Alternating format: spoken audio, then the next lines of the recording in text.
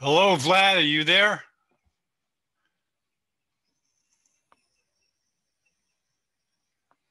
Hello, hello.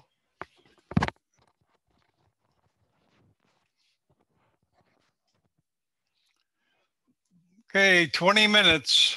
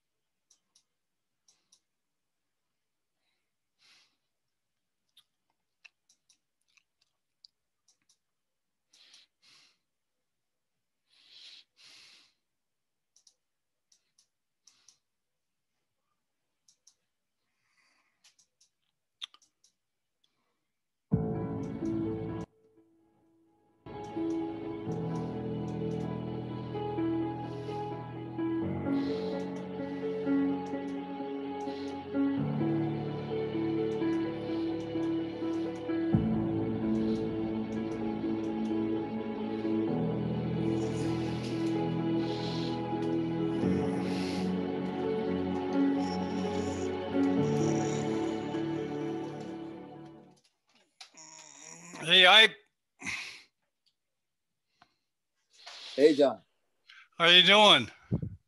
Pretty good. John, you saw the place, right?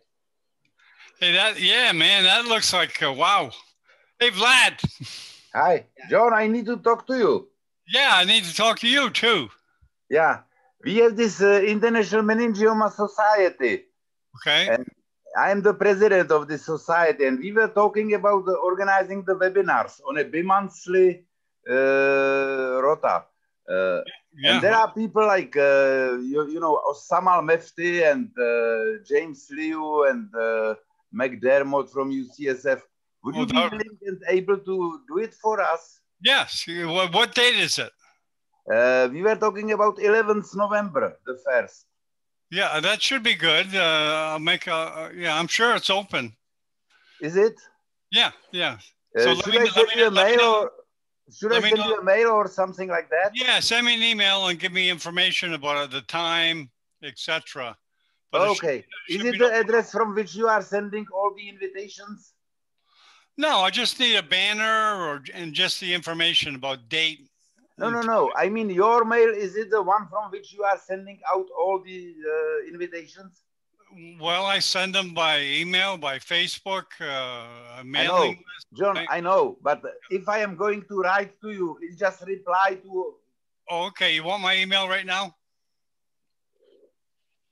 Hey, Vlad. Yeah, I'll- I'll Hey, send how it. are you? I'm gonna put it in your uh, WhatsApp. Vlado, all okay, good. How are Vlad? you? Yeah.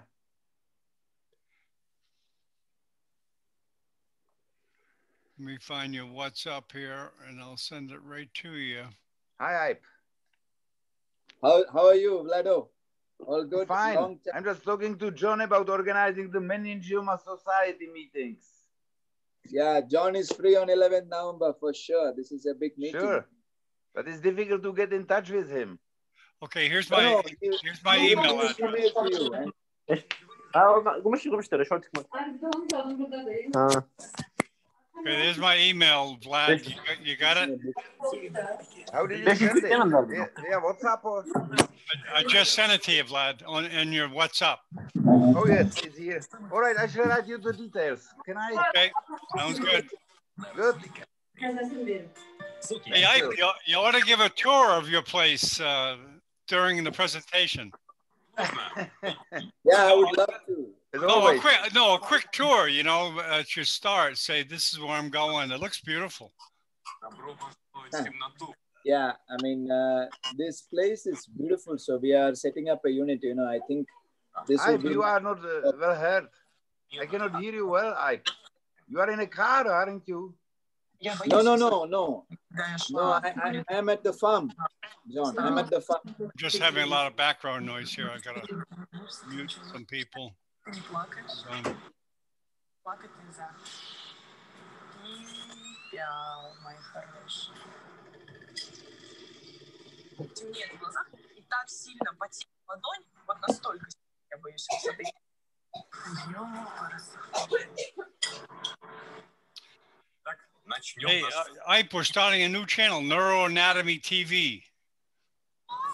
Ah, good, good, good, good, good, good. Victor's starting it off. He's having one presentation every week in neuroanatomy, and we, we hope to get the neurosurgical societies to come to it uh, because Bangladesh.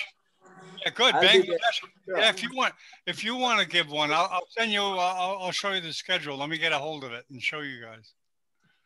A tentative schedule sent to me by Bangladesh. Uh, Прикольное ощущение, когда тебя поднимают в темноте, и не понимаешь вообще. как нестись. There is some background noise, John. Yeah, there's a lot there. Yeah, hold on. Let me show. Let me show this. Uh, I, Вообще поднялся наверх вместе с моим телом. Ой, this is a tentative schedule. участникам помогают понять. Uh, you see it? Yeah, yeah, yeah. Yeah, I'll send it to you later. but but they said to me, "Can you get people to do it?" And I said, "Hell, I get one guy to do it. Victor Hugo Perez Perez will do it. Uh, of course, you're welcome to take anyone you want." Uh, no, Pablo no, Gonzalez will do it. Uh, well, we can all we can all do it. Uh, maybe Vlad can share some. I can share uh, maybe the cavernous sinus uh, yeah. and uh, maybe the I could do the third region or Foramen Magnum, whatever. Yeah, it'll be yes. Monday. Mondays. I'm trying to get a time. Oh, so, this Monday. Yeah, Monday. That's when. Uh, that's when Vic, Victor, who's going to do most of them, that's when he wants to do it. Uh, but I'll let you know. I'll let you know. I'll let you know what we decide. Who's behind that? John, who's behind no, that? I am the Neuroanatomy TV. It's another oh, channel. Oh, you are? Yeah, Neuroanatomy TV. And Bangladesh came to me with this schedule and they said, "Can you fill it?" I said, "Yeah, I can fill it. Well, hopefully, with Victor, we'll do most of them, uh, and then you guys are always welcome to do any ones you want." Well, Okay, let's uh, fill that in right now. Maybe jugular foramen and surgical approaches uh, could be done by Luis Borba. Uh, Yeah. Maybe, yeah, Luis Borba could do it, and Vlad could do the. Uh, maybe you Vlad can decide what he wants to do. What, what about I the can- far lateral? Yes, yes, yes, please. Yeah, John, put me on far lateral. Okay, uh, can you write that to me, please? Uh, yeah. Okay. Yeah, I'm going to send you the schedule, Vlad, and uh, you fill in the appropriate ones, okay? And yeah. I'll send you a. Okay. When is the date? What is the date? Well, it's every Monday, every This starting next Monday, starting next Monday, not this Monday, next Monday, next Monday. next Okay. Monday. Okay. Okay, good, good, good, good. Good. Send it to me. I shall fill some some of that. Yeah, I'll send it to both you guys the schedule and just fill Good. in what what you want. John, I would recommend Pablo Gonzalez. He would be extremely good and able to Oh, of course, of course. Yeah, yeah, that would be Yeah. great. Yeah, white White matter, he will be very good in white matter. White matter, Abhijit Shah from uh, yeah. Department is extremely good. Yeah, Abhidha is also very good.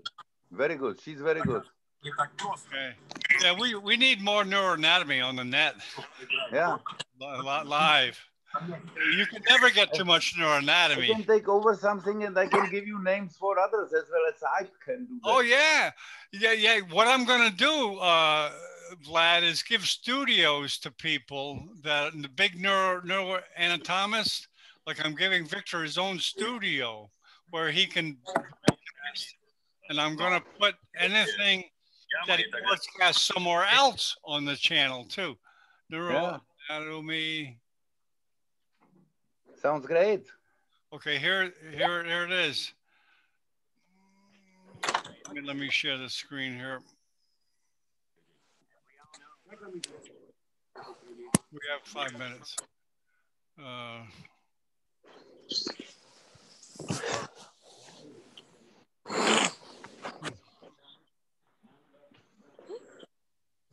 Did you send it, John? uh, hold on, I'm just getting the uh, website. Hold on.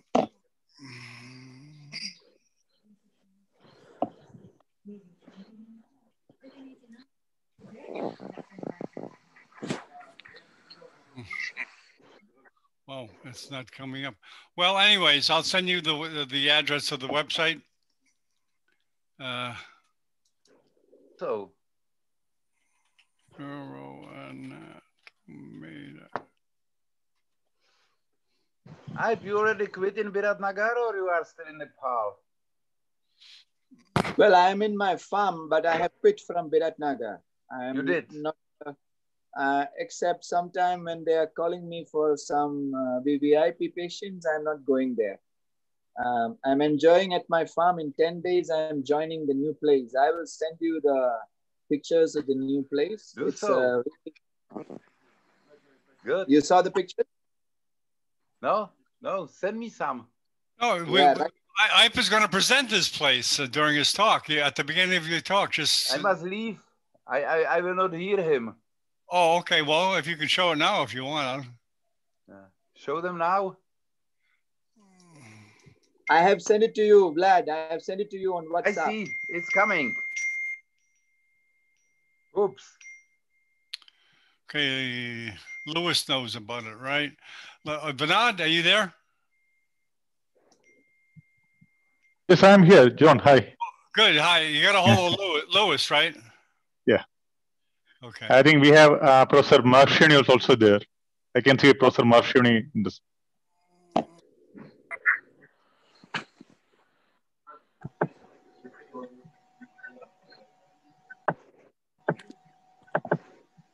Hello. Hello. How are you? Hi.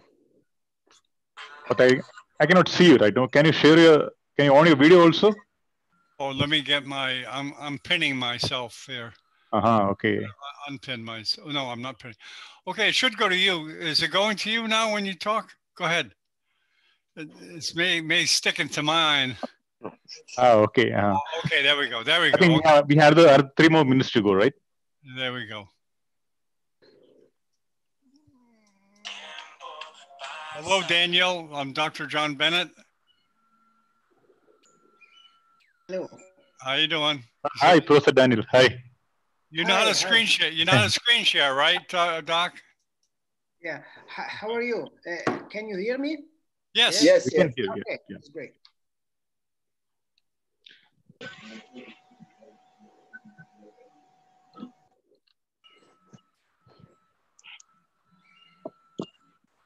Nikolai. I imagine that's Nikolai Peeve.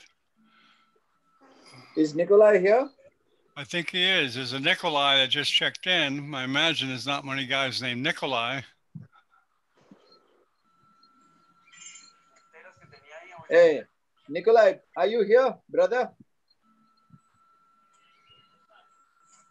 No, I don't think it's that Nikolai. Oh, okay.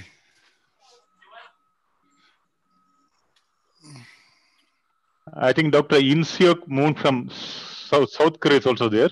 I Uh, can see hi, him. Nikolai.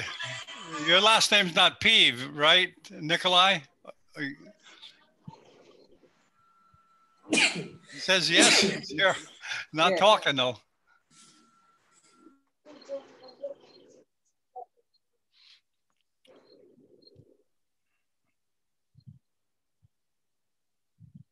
So you're gonna run it, right, Vinod? Basically, Yeah, yeah, I can do that. Yeah, of course. yeah, yeah. I'm just gonna introduce you, and then you run it. You, you take the questions. You, you know, you, when the next person's gonna come on, and just uh, just do whatever you need to do. Okay. It's tough. The, mo- we had a really good moderator. The last talk, uh, uh, uh, Peter Sapex. yeah, he, he was. A, I mean, moderator means a lot. I mean, it keeps things going and talk. You know, relevant questions, calls people in the audience. You guys know how to do it. I knows how to do it. But Is Luis don't. Borba here? Not yet. You got his. Uh, he's, is he speaking first? Uh, I know. No, no, first, I, first Professor Marshall is speaking. The second, I think, uh, there are the talks by Dr. Moon and uh, Professor Iype Cherian, and finally we have Professor Luis Borba. okay. okay. So there's no hurry for Lewis, and we'll just email him. So you ready? Ready to go? Yeah, we are ready. We can. Okay, 10, 9, 8, 7, 6, 5, 4, 3, 2, 1. Good morning. This is Dr. John Bennett broadcasting from the home of Neurosurgical TV, Miami Beach. Today we have another Neurosurgical Super Sunday with an all star cast, and I'll let Vinod uh, introduce uh, the people. Welcome, Vinod. Thank you, John. Thank you. Thank. So, uh, so it's like it's yet another interesting session we are having today. So, greetings everyone. everyone. Today our session is on CP angle and IAM, internal auditory meatus. Our basic idea is to have endoscopic and open approach talks on this area so that we can get a complete 360 degree anatomical orientation of this region. And to give the uh, talks, we have the stalwarts of the pioneers in this region here. Uh, we have Professor Daniel Marchioni from Verona, Italy, Professor Luis Borba from Brazil, Professor Iype Cherian, and Dr. In Seok Moon from South Korea. And uh, all these speakers require no introduction to you because uh, all of them are well known across the globe. Professor Daniel Marchioni is considered the father of endoscopic lateral skull base surgery. He is probably the biggest name in this region, at least the lateral skull base among the ENT circle. So he'll be talking to you on endoscopic approach and translab approach. And then we'll have Professor Iype Cherian from, uh, who was previously from Nepal. Now he's relocating to India. He will talk to you on retrosigmoid and probably some, he'll highlight some translab approach also. And we'll have Professor In Seok Moon from South Korea. He has a huge volume of acoustic neuromas in South Korea. He'll show a glimpse of his experience And then we have the big name, the Professor Luis Borba from Brazil, who will talk to you on retrosigmoid approach. So with these words, I would like to invite the first speaker, Professor Daniel Marchioni, to deliver his lecture. Professor Marchioni, the screen is all yours. Thank you very much. Uh, um, it's a pleasure to be here and uh, sharing the experience with you regarding uh, internal auditory canal surgery and endoscopic approach, open approach. And if it's possible, I would like to sharing the, the screen with you in order to start with the lectures. Um, okay, are you able to see my screen? Yes. Okay, this is great so uh, the topic uh, it's, it's quite uh, uh huge because uh, uh, it's mean speak about the translabyrinthine approach and so open approach and also endoscopic transpromontorial approach that is something new in the lateral skull base. Just to start with the experience in the um, translabyrinthine approach, this is our flowchart regarding uh, the brainstem tumor, especially acoustic tumor. And if you are able to see uh, this uh, slide, uh, you can understand that we can distinguish three kind of tumor. Of course, tumor, really, really large tumor over the three centimeter of tumor. And of course, in, in our clinic, we are performing a microsurgery and we are performing a, a translab approach, transotic approach, but also a retrosigmoid approach in some cases. And uh, or tumor less three centimeter of diameter. And in this case, uh, we are performing also open approaches, translab or uh, mm, retrosigmoid and finally intracanalicular tumor. And nowadays we are performing total endoscopic approach or um, transcanal transpromontorial approach, depending of the cases. So just to speak about the translab approach, um, this is a, a, typical example of the translab approach. Uh, are you able to see in a good way the, the movie? Yes, yes, yeah. Okay. So uh, the principle of the translabyrinthine approach, uh, just uh, to uh, show some um, demonstrative video. Uh, okay, like this, for example. The principle is really uh, simple because it's used the mastoid and of course the temporal bone just in order like a surgical corridor in order to reach the internal auditory canal and the cerebellopontine angle in order to uh, reduce uh, the mobility, especially the retraction of the cerebellum. This is the line of incision and uh, the first step is to perform a wide mastoidectomy and just to elevate the, the flap here and after we can start with the mastoidectomy. And you can see here, this is the spine of Henle, the posterior wall of the canal. We can start the dissection of the, um, of the mastoid. One of the most important aspects of the um, translabyrinthine approach is especially to decompress in a good way the middle cranial fossa and the lateral sinus. So it's really important, especially for the beginner, to remove all the bone around the sigmoid sinus and all the bone around the middle fossa in order to decompress as much as possible this structure when you're working in the cerebellopontine angle. After this, uh, you have to see uh, the labyrinthine block and you have to following uh, the posterior fossa uh, from the labyrinthine block, detaching the, the dura from the bone. And after you can start after detecting the facial nerve, the labyrinthectomy. The first step is to remove the lateral uh, canal maintaining the anterior wall of the lateral canal in order to protect the facial nerve. And after you can remove all the lateral, the superior semicircular canal and the posterior canal until you are able to reach uh, the, the vestibule. Until to reach the vestibule is really important because uh, you can understand clearly the anatomy between the vestibule and the internal auditory canal. The vestibule is one of the most important landmark in order to reach the internal auditory canal. And just to drill around the vestibule, you can see uh, the internal auditory canal. Nowadays, we are using more and more the uh, rongeur in order to remove the bone and exposing the posterior fossa dura.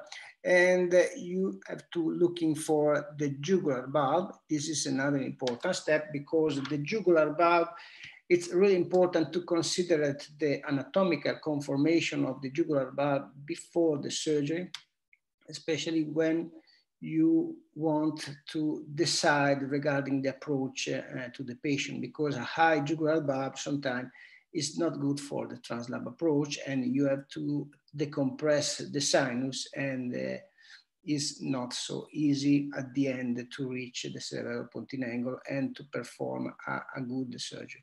This is the internal auditory canal. You can see that we have to skeletonize the uh, canal from the fundus uh, to the porus and after we have to remove the bone all around the internal auditory canal. It's really important to remove this bone in order to have a good access to the cerebellopontine angle and also to the tumor inside the internal auditory canal.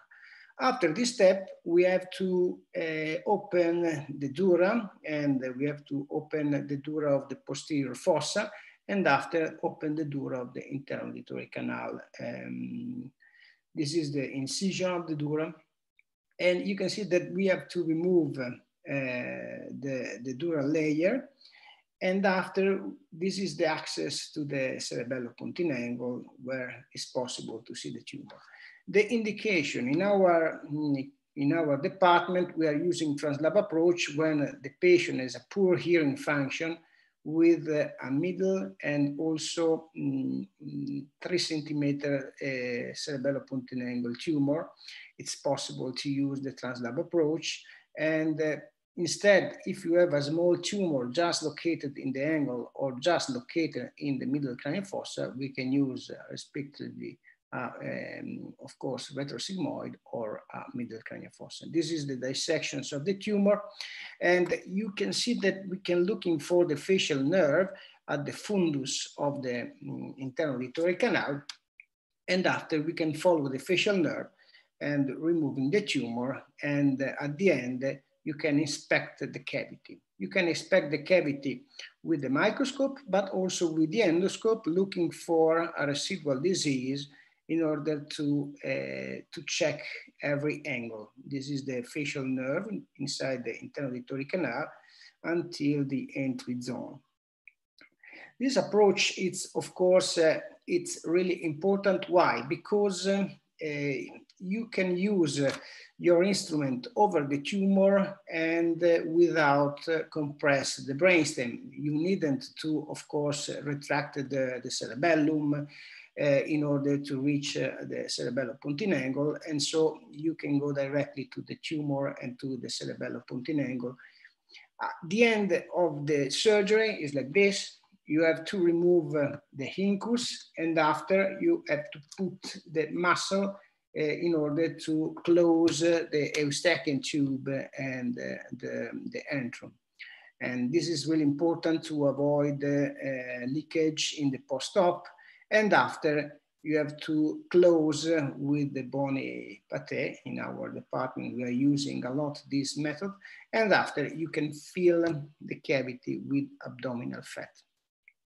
Sometimes you can perform a, a really a huge approach of the internal auditory canal, a transapical approach, removing all the bone around the internal auditory canal in order to expose the lesion in the cerebellopontine angle anteriorly with respect to the, mm, the, the, the, the, angle. And so you, this is the, the, the section of the transapical approach.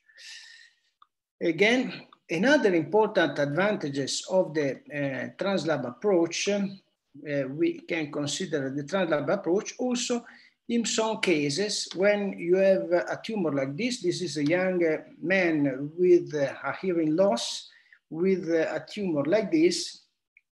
And in the contralateral side, he had an unstable hearing function because of chronic otitis media.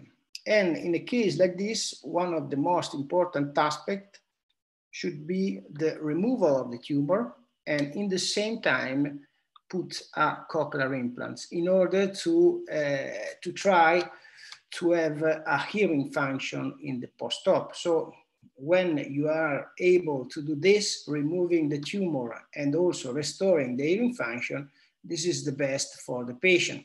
And you can see the translab approach with the, the simultaneous cochlear uh, implant.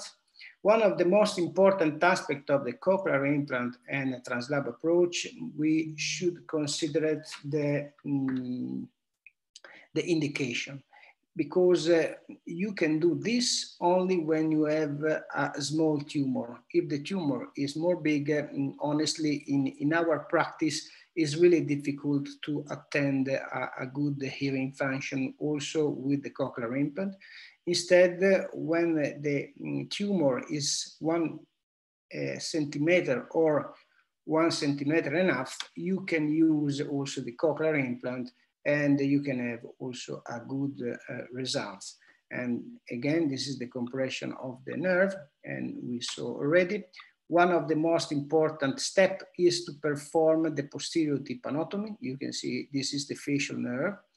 The chorda is over there. You have to do a posterior tympanotomy in order to reach the cochlea, and this is the round window.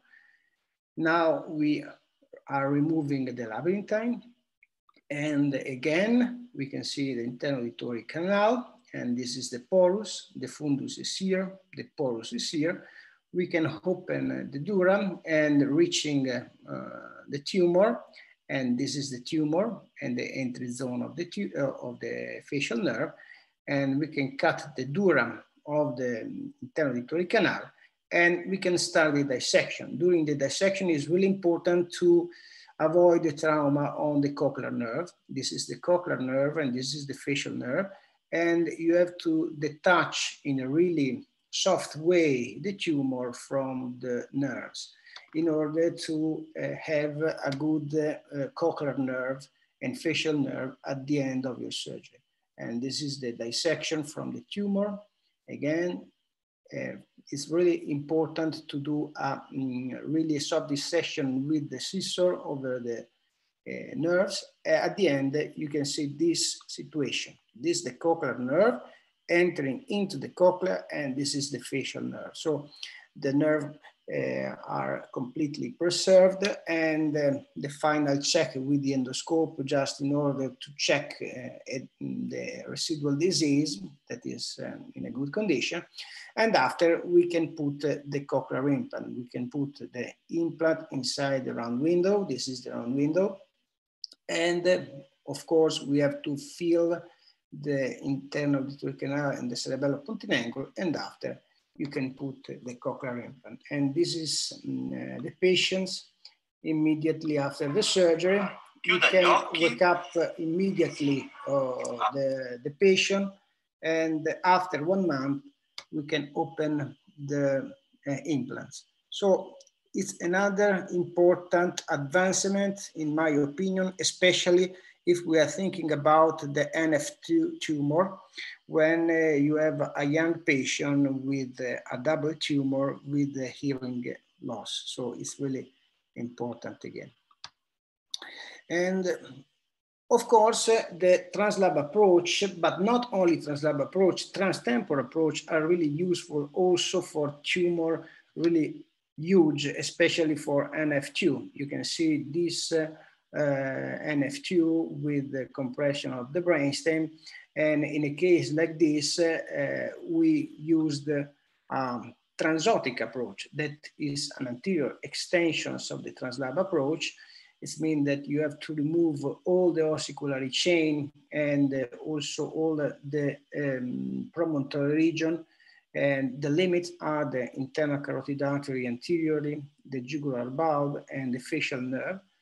Uh, which is remain in the canal. And after this, uh, we can remove all the bone in order to reaching the posterior fossa. This is possible when you have a tumor with anterior extension in, anterior, in the in CP angle in order to have um, to gain more space and uh, in order to uh, have uh, a more comfortable way to remove the tumor. You can see here the internal canal was really enlarged because the tumor was really huge and um, the dissection of the tumor and from uh, the cerebello-pontine angle, in this case was an F2. So the, the situation was not so easy because the adhesion of the tumor.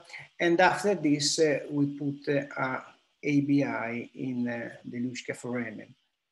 And the same uh, also when you have a situation like this, you can see here, uh, this is a lady, young lady uh, with a huge tumor in the infratemporal fossa, trigeminal schwannoma, acoustic neuroma, facial schwannoma, acoustic schwannoma, a, facial schwannoma with the discompression of the brainstem. So the situation was really terrible. And also the transtemporal approach, uh, it's uh, another important approach. With, this is, was a transcochlear approach with, um, uh, with infratemporal for approach type C in order to remove as much as possible the tumor, in this case, in order to decompress the brainstem. And, um, and this was uh, the results after the uh, tumor removal with the decompression of the brainstem.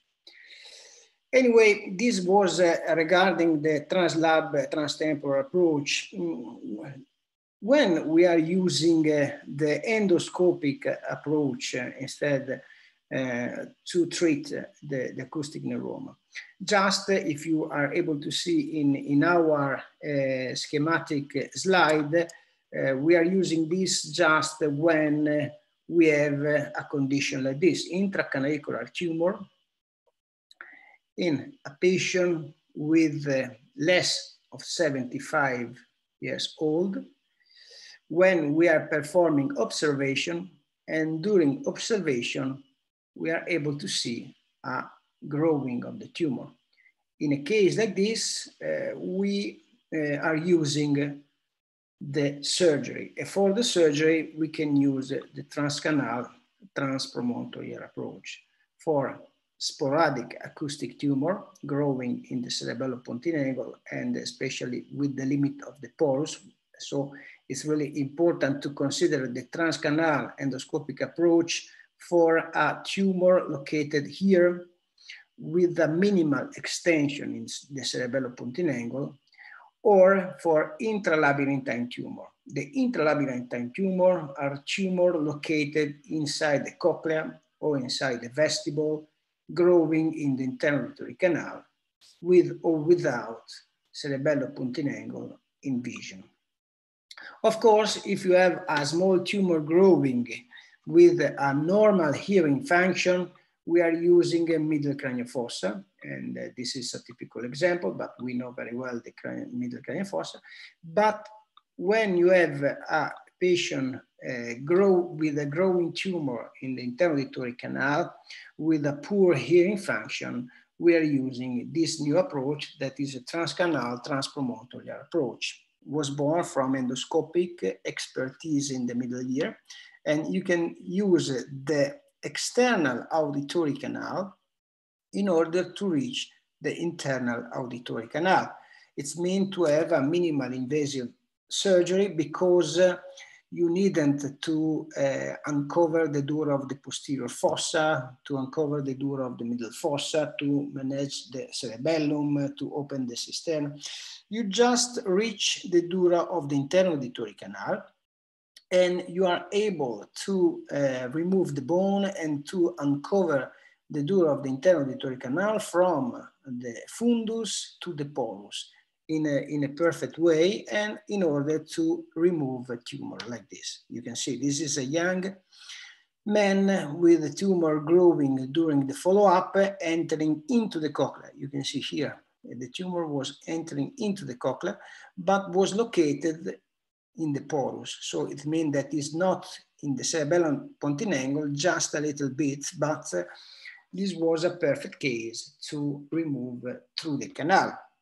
The principle is to use the external auditory canal as a natural corridor in order to reach the lesion, to move our instrument just over the tumor, but not over the middle fossa, posterior fossa, or brainstem. And uh, like, uh, for example, the transnasal approach for anterior skull base, the same principle. And just to describe the approach, uh, these are some cases. This is the case of the young man. You can see this is the eardrum, the right side eardrum, the malleus here, the external auditory canal, the skin. The first step is to remove uh, the skin of the external auditory canal. You can see the incision is a circumferential incision and you have to detach the skin from the bone all around and you have to remove the skin of the ear canal with the eardrum and, and block. You can see now we removed the skin of the external auditory canal with the eardrum. And now we are watching inside the tympanic cavity. This is the malleus here, the incus is here, Eustachian tube is here. And in order to, um, to gain space with the drill, we have to remove all the bone of the external auditory canal. And the limit are, the anterior limit is the temporal mandibular joint. The inferior limit is the jugular bulb. The posterior limit is the third portions of the facial nerve. You can see this is the tympanic segment of the facial nerve, turn over there and become a mastoid segment of the facial nerve. And the superior uh, limits of course, is the tegment of the middle fossa. And you can see here, after this, we enlarge the external canal and we have to remove the incus, detaching the, the incus from the stapes. You can see here, removing the incus is here. And after we have to remove the malleus. So we have to cut the anterior ligamental fold of the malleus. And, and now this is the situation after ossiculary chain removal. This is the anterior, posterior, superior, inferior. And uh, in front of you, you can see the facial nerve. The tympanic segment of the facial nerve is here. This is the geniculate ganglion with the cog and the cochleariform process with the tendon tendon of the muscle is over there. The stapes, the promontory region where is located the cochlea with the round window, and the third portions of the facial nerve turn over there. And here you can see this bone is called fustis, and this is the funiculus bone. So now the second step is to remove the stapes in order to uncover the vestibule. Removing the stapes, we are entering into the vestibule, and this is the medial wall of the vestibule. And now we know that here you can see this brown spot. This is the spherical recess. The spherical recess is where is located the attachment of the inferior vestibular nerve and is a landmark in order to understand where is located the fundus of the internal auditory canal. In this way, we know where the facial nerve run, especially the, the labyrinthine portions of the facial nerve. The labyrinthine portions of the facial nerve run from the geniculate ganglion to the spherical recess in this way. So this is the line of the, the labyrinthine portions of the facial nerve. And the fundus of the internal auditory canal is located here between the vestibule and the cochlea. So we can start to remove the promontory region in order to, to see the cochlea where it's located. And you can see this is a piezoelectric drill that we are using more and more in this kind of surgery. And we remove the promontory region and now we can see the cochlea. This is the basal turn of the cochlea. This is the middle turn and apical turn of the cochlea, and this is the vestibule. Again, the spherical recess is here. If we are removing this bone between the cochlea and the vestibule, that we call it the cochlear vestibular bone, of course, if we are able to remove this bone, we are reaching the fundus of the internal auditory canal, where the internal auditory canal is more superficial. So we can start uh, the removal of this, and you can see this is the fundus of the internal auditory canal. And we can start the dissection of the internal auditory canal from the fundus to the porus in order to remove all the bone. In this case, you have to be careful because you can understand where the internal carotid artery run. And uh, always we have to see where the carotid artery is located, just to see. And this is again the facial nerve, tympanic segment of the facial nerve. The vestibule was here, and we remove all the bone of the internal auditory canal from the fundus to the porus, and this is the tumor. After this, we can start the dissection of the tumor from the internal auditory canal. And again, when you are lucky, but sometimes it's really difficult to have a, a luck like this, you can move the capsule of the tumor and uh, you can see now the leakage because uh, when you see the leakage, it means that you are reaching the posterior portions of the tumor. And after you have to detach the tumor from the facial nerve. This is the facial nerve. And so you can start the, the touch of the tumor. How is possible to uh, move the instrument? If you are able to remove more and more the bone in the external auditory canal, you can use the same technique of the anterior um, skull base. It's mean that um, uh, mm, one of your staff can hold the endoscope and you can use also two hands in order to remove the tumor. So it's not uh, mm, so difficult. After this, you have to put uh, fat in order to close the internal auditory canal and also to fill all the cavity. And we have to uh, suture the external auditory canal. Another important aspect of the endoscopic approach is when you want to remove a tumor like this. There are a really small tumor, intralabyrinthine tumor located in the cochlea or in the vestibule, but um, the indication are for uh, surgery because uh, it's really difficult to control the symptom of the patient. These patients are with hearing loss uh, with terrible vertigo. So the indication is for surgery. And uh, these kind of tumor are really easy to remove um, uh, with the endoscopic approach. Again, this is the right side and we have to remove uh, the skin and the drum. We have to drill all around the, the external auditory canal. After this, we can see here the ossiculary chain, the facial nerve is here uh, we remove the ossiculary chain, the facial nerve, the stapes, and the tumor in this case is inside the cochlea. So we have to remove the promontory region, reaching uh, the, the tumor, removing the stapes, and again, we can remove, uh, this is the cochlea, and again, the same situation, the vestibule, the facial nerve, the basal turn with the tumor, the medial turn and apical turn of the cochlea. And this is the uh, piezo surgery that we remove until the fundus of the internal auditory canal. This was a cochlear schwannoma involving the fundus of the internal auditory canal. We can start with the removal of the tumor from the cochlea. You can see that was filling all the um, cochlear turn, and this is the tumor. And after this, uh, we can start to remove the last piece of the tumor from uh, the fundus. You can see the leakage.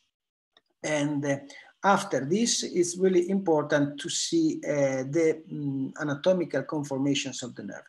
This is the cochlear nerve entering into the cochlea, and this is the inferior and superior vestibular nerve.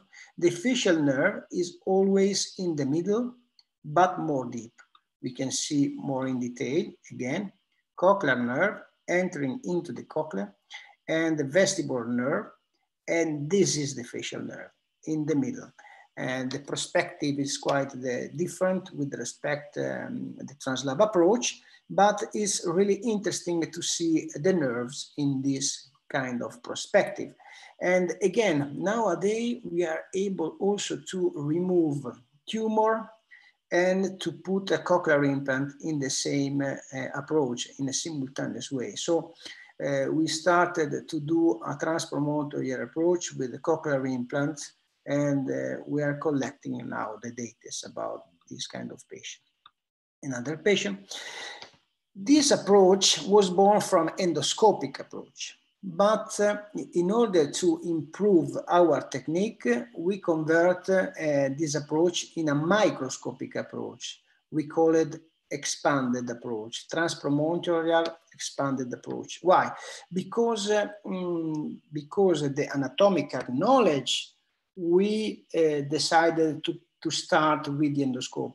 After this, uh, with the microscope, you can do the same. Look this case with the tumor located in the, um, in the pyramidal, in the, in the petrous apex along the internal carotid artery and uh, uh, along the internal auditory canal. In this case, we decided to do this approach with the, microscopic uh, um, instrument. You can see here, the incision is like a Chambeau, just an incision like this.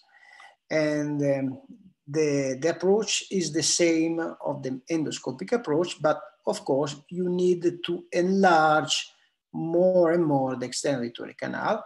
And again, you have to remove the ossiculary chain. And after you can start with the same uh, anatomical knowledge. So mm, when you are performing a microscopic approach, uh, it's quite different with respect to the endoscopic approach because you need more space and so it's really important to remove more and more bone around the external auditory canal and um, also it's really important to uh, check your anatomical limits in a very good way and this is the results at the end of the surgical uh, approach uh, transpromontorial with the endoscope in at the end in order to check if there is some residual disease. Just in order to, um, to show you um, this microscopic approach, I would like to see this, uh, um, this movie.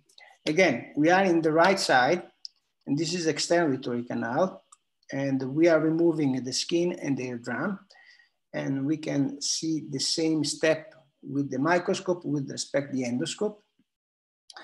In this case, uh, the tumor was located in the internal auditory canal, but growing in the straight line with the external auditory canal until the entry zone, so in the cerebellopontine angle. But you are able also to get a good surgical window in order to reach the cerebellopontine angle if you need. You can see this is after um, skin eardrum removal. We have to drill all around the bone, all the bone of the anterior portion of the external auditory canal until reaching the temporal mandibular joint here, and all the bone here in order to gain your surgical window. Again, malleus, incus, and you have to reach the third portions of the facial nerve in order to have a, a good uh, surgical view. And look now the situation, we have to drill more and more the bone and because uh, you have in this way, this is the third portions of the facial nerve, incus malleus, the temporal mandibular joint. The carotid artery run here, this is the promontory region. And uh, the view is really nice also with the microscope because it's a straight operation. It's not like uh, um, uh, the middle ear that you need to see uh, around the angle. And the malleus removal, we have to remove the stapes and uh, look the situation of the facial nerve. We can see really clearly the facial nerve where it's run. And we have to remove the stapes. And after you can see this white stop spot, this is the spherical recess. Or let me, this is the spherical recess where the, the facial nerve run the, the uh, sorry, where the inferior vestibular nerve run. And it's really important in the microscopic technique to remove the cochlear, to the cochleariform process in order to gain space anteriorly. And this is the removal of the um, uh, cochleariform process. And after this, uh, we have to looking for the carotid artery because we need more space with respect, uh, of course, the endoscopic approach. And so you can see uh, then the internal carotid artery is uh, uh, our anterior landmark in order to stop our dissection anterior. And you can see here, this is the carotid. And this is the carotid, and we know that the carotid run here. We know that the jugular bulb is here. It's really important to check the, the, um, the CT scan uh, before because uh, if you have a high jugular bulb, this approach is contraindicated. And after this, we can start uh, with the, the, removal of the cochlea. You can see here, this is the basal again. And after we can start to remove anteriorly in order to, um, to, to uncover the middle and apical turn, middle apical turn. Again, look the situation. There is, the vestibule is here, basal turn, middle and apical turn, facial nerve, and this is the cochlear vestibular bone. If I remove this, I can go directly to the fundus of the internal auditory canal, and this is the carotid. So we can remove the cochlear vestibular bone until I can see the more superficial portions of the internal auditory canal. And after this, uh, we can follow the internal auditory canal until the porus. We can check here, just uh, look, this is the internal auditory canal from the fundus to the porus. It's really important to remove all the bone around the internal auditory canal. You have already your landmark, the carotid artery anteriorly, posteriorly, the third portions of the facial nerve, superior, the facial nerve tympanic segment, inferiorly, the jugular bulb. And if you remove all this bone, you are able to reach the posterior fossa dura. You can see now, this is the blue line of the posterior fossa dura. And after you can start to remove all the bone and after you can open the posterior fossa dura. We, you can cut the posterior fossa dura and the, the view when you cut the posterior fossa dura through this approach is the entry zone. You are in front of the entry zone of the facial nerve. So um, you must know that you can reach the, the, the entry zone of the facial nerve you can see the, the entry zone of the facial nerve is here. And after you can start to dissect the tumor with the two hands. So it's quite diff different with respect to the endoscopic approach because you, you can remove more and more bone and uh, also you can move your instrument in the angle with a more um, safe uh, condition. You can see here the vascular structure and this is the facial nerve in the entry zone and this is the tumor and uh, you can detach uh, and uh, you can reach the tumor and remove. And this is the, the final view after tumor removal. And you can see this is the entry zone, the brainstem, the facial nerve run over there and turn in this way. And uh, so just in order to show the possibility of the transcanal approach, of course, but when you have a tumor in the angle, honestly, nowadays I'm using a translab, but this is a new view, a new approach, and uh, that you can use. Honestly, for the internal auditory canal, probably the transcanal approach now is, um, in my hand, of course, the best. And uh, so uh, we, we have also some uh, our um, paper regarding the use of the endoscope, of course, uh, uh, in the translab approach, in the petrous apex, and also the results in 2017 of 49 patients underwent transcanal transpromontory acoustic neuroma surgery regarding the facial nerve outcome. And uh, of course, the outcome is really promising. So um, I would like to finish my presentation.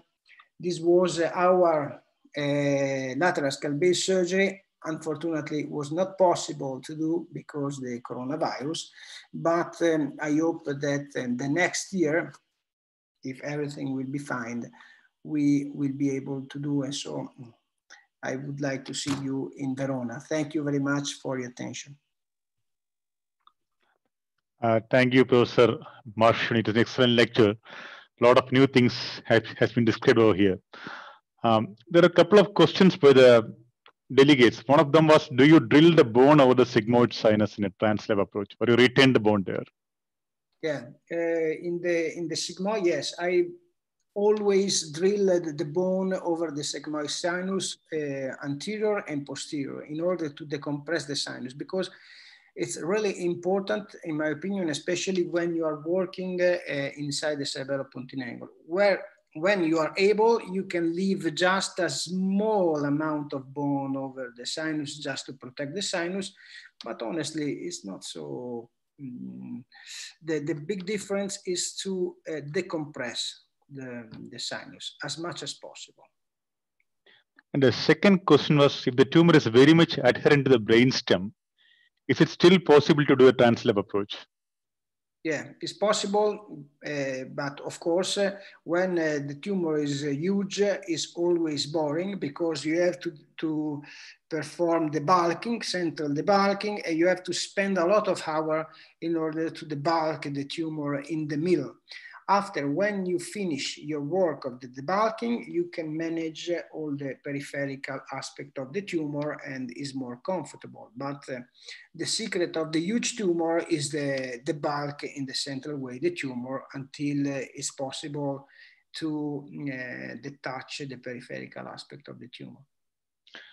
And the next question I would like to ask is, you, you described the transpremontal microscopic approach. And I saw you going till the posterior fossa dura and the root entry zone. So what would be the size of tumor, the maximum size of tumor which can be removed by this new approach? Yeah, it's, uh, this is a, a good um, question because uh, uh, at the end, uh, at the beginning, we, we thought about how large should be the tumor.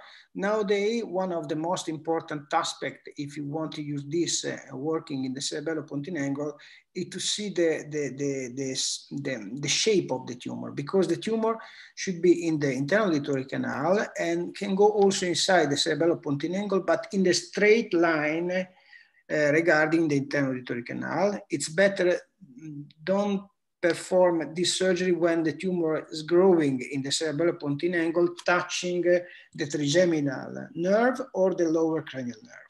And this is a simple uh, method to understand uh, which kind of patient can undergo to this surgery. Thank you, Professor Marshall. It's an excellent lecture. Thank you once again.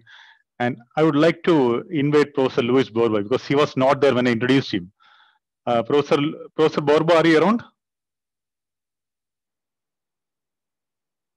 John? Is Professor Borba there? Yeah, Luis is here. Uh, I can see him, Luis. Uh, Louis? Luis, can you respond? Okay, I'm sorry, I didn't see Luis. Uh, I don't. No, no, Luis, Luis is here. I can see him. He's, okay. Uh, okay, great. Great. Luis? Uh, see here. Can't find him. I. No, no, he's here. He's here. Okay. I'm calling him. I'm calling him on the, on the WhatsApp. Okay. Okay. Uh, I've sir, you have some questions or some comments on this approach. Well, um, Luis, you are asked to be in the presentation. Luis, uh, one second. Yeah, see, uh, you know, this is something, this is completely new for me. I've never seen uh, a transcanal, transpremonitory approach. So, I mean, I really appreciated the, the beauty of the surgery. I mean, for me, it would be a very, very narrow corridor, and I really appreciate, I mean, the experience uh, of Professor Marchioni. So, how he's going about the things. And it's beautiful surgery. I mean, needless to say, it's beautiful surgery. He's a master. So uh, thank you very much. That's all I can say. Then thank you for introducing all kinds of, uh, you know, all these approaches, bringing everything together. I must give the credit to you. Thank you, sir. And I will probably, if uh, Professor Borba is not on, maybe can you start your next presentation, sir? Professor Iype Cherian? Yes, yes, sure. Yeah. So, Borba, um, Luis, you, are you there, Luis? Yeah, he's yes, on. Yes, I'm here. Oh, there he is. Okay, all right. Yeah. hey, Ip, you want to introduce him? No, Ip, you can go first. No problem. Go ahead. Okay. Go ahead, please. Yeah, I will take 10 minutes because um, I have just two cases to show. Um, Okay, I'm going to share now.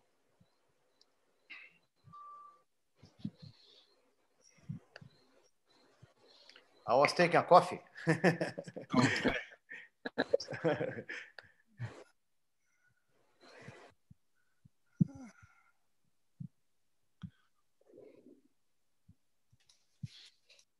Okay. So um, we will start with, uh, I mean, we will just show two cases, surgical videos. I mean, uh, the thing is, in CP angle, neurosurgeons most often, they resort to the retrosigmoid uh, approach. Now for us, uh, the only time we retrosigmoid approach is difficult is when there's a very, very large tumor. Now, and somebody is gone and shunted this patient, then the systems are not there. Then, you know, the surgery becomes, if retrosigmoid surgery becomes a real big problem because, uh, you know, you are trying to retract the cerebellum. And if you're not able to retract the cerebellum, taking one third of the cerebellum and all is something that we've seen in the past, we've done in the past. It's not very elegant. So there, I would uh, choose a translab. Uh, sometimes I combine a translab with a retrolab, uh, retrosig because it's it's rather very easy. You do some uh, decompression and then come retrosig, which is your familiar corridor again. So we're going to show you how we do. Again, with respect when you're uh, when you're starting off your surgeries uh, one of the things that you can do is uh, you know uh, attention to details like where is the tumor what is the relation of the brainstem with the tumor what is the relation of the cerebellum with the tumor what is the angle of the petrous ridge all these things are things that you would like to know and again uh, one of my favorite positions is the sitting position. Uh, it's very good because, you know, you don't have blood and uh, anything blocking your field. Everything is going to flow down. The only problem is uh, you're going to be standing with a, you're going to be standing uh, in a very, very, I would say awkward position for, you know, for your shoulders for sure. The rest of the, the rest of it is okay. But for your shoulder, it's going to be real uh, stress. So unless you know how to keep resting and operating, it's it's it's a big uh, it's a bit of a problem. So we uh, two cases that we've done, we we using the supine oblique or lateral position here. So navigation is not really required. That is a Pointsetter arm. This I use it as a retractor because it's, it's sometimes very, very useful uh, than the much, much better than the Leyla. So uh, that is the setup. So we set up the Pointsetter. This is the usual incision that we use and that is where the craniotomy we do. So of course, the most important thing first in a, such a big tumor is obviously uh, getting into the cisterna magna. You must look at the cisterna magna uh, in the scan. And if there is a cisterna magna, then it's very good. But sometimes um, I have a lot of problems with guys who shunt these patients. And then when you shunt it, then the cisterna magna tends to disappear, especially in large tumors. And then you'll have to go and uh, take out the C1 arch. So once the cerebellum is a bit lax, then you can go ahead and uh, incise. Um, once you incise, you can connect these two incisions. You know, everything is under very high magnification. So the entire dural, um, uh, dural uh, incision is hardly 2.5 centimeter. Once the CSF comes out, uh, you can just take a stitch. You know, uh, there are some advantages if you drill over the uh, sinus, expose the sinus and uh, turn the sinus over uh, sometimes it's required, sometimes it's not. Okay, so you don't have to maximize everything in the beginning. So this is where you get a lot of CSF. Once you get a lot of CSF, things are going to be much easier. You must understand this tumor is uh, a big tumor comes very superficial than you usually think. So retracting the cerebellum and the tumor together is a mistake that a lot of people do this is something that you should avoid. So you should uh, slip, you should gently slip the cerebellar arachnoid over the tumor. That is what you need to do. Once you do that, you're going to be able to get the tumor capsule and you're going to be dissecting the arachnoid away. Arachnoid belongs to the brain. So once now what you are doing is that's a tumor, that's a huge tumor. So the huge tumor is what you do is you gently mobilize after you've done enough decompression, you can gently mobilize from superior, from inferior. Don't worry too much about uh, the bleeding or don't try to stop it uh, unless, of course, you are uh, you have a major bleeder. That means your surgical technique is very bad. Don't worry about this oozing and always use the Cusa or Cusa or something which you can fix the tumor and decompress. Now, if you pull the tumor chunk out, that can be the reason for your facial nerve. So Cusa, most important thing about the Cusa is that uh, in a Cusa, you are not causing any movement. You know, the facial nerve and the eighth now, if you want to preserve, the main thing about them is imagine a noodle sitting and you have the tumor sitting on the noodle. So if you are pulling the tumor, the noodle is going to break for sure. And the noodle is really stretched out. So if you avoid movement of the tumor, then you are at a very, very safe way. I mean, even when you're, you should not really push, pull, do anything. So decompression should be with the Cusa. That is why Cusa is extremely important. Otherwise, if you don't have Cusa, you should fix the tumor with a dissector and then use a Kerrison or a, I mean, not a Kerrison, a pituitary punch to uh, take out the tumor. This is also a very good uh, technique, but provided you fix the tumor. But if you are pulling and pushing the tumor, I mean, your facial nerve may be preserved anatomically, but then you're going to have a problem with uh, uh, the facial nerve. I mean, uh, it will be only an anatomical preservation. That's not exactly what you want. I mean, nobody's going to look at your anatomical preservation and then say, bravo. So that is, uh, after this tumor is a huge tumor.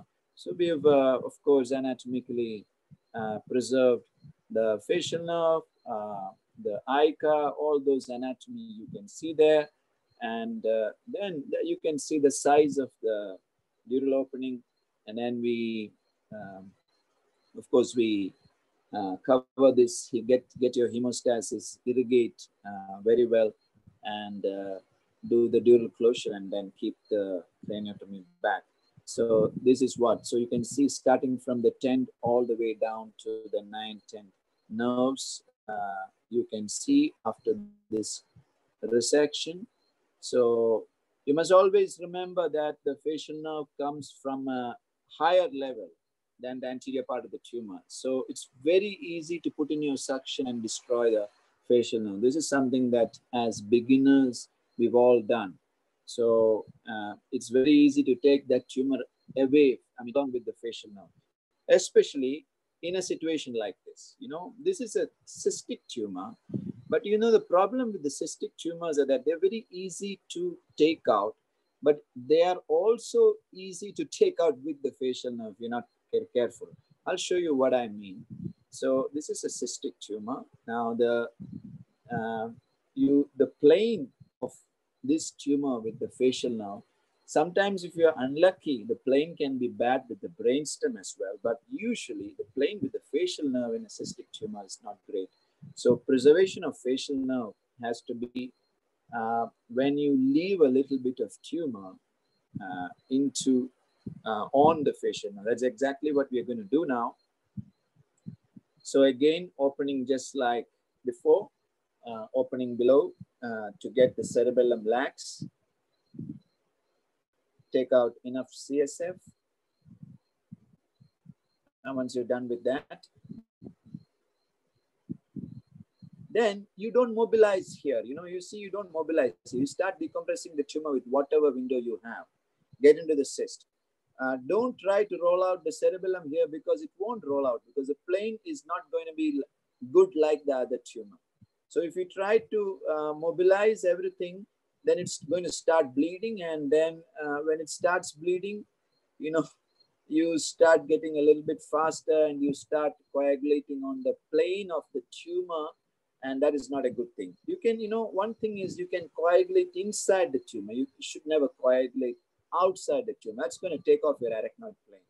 And uh, that's so you must always have a facial nerve monitor. This is the only place. I mean, generally, uh, other tumors, uh, I, I rarely, you know, I hardly use the facial nerve monitor only in the end. But this one, you should have the facial nerve monitor. You should uh, stimulate the different currents. You can see the fifth nerve there, starting to see the fifth nerve and the 10th there.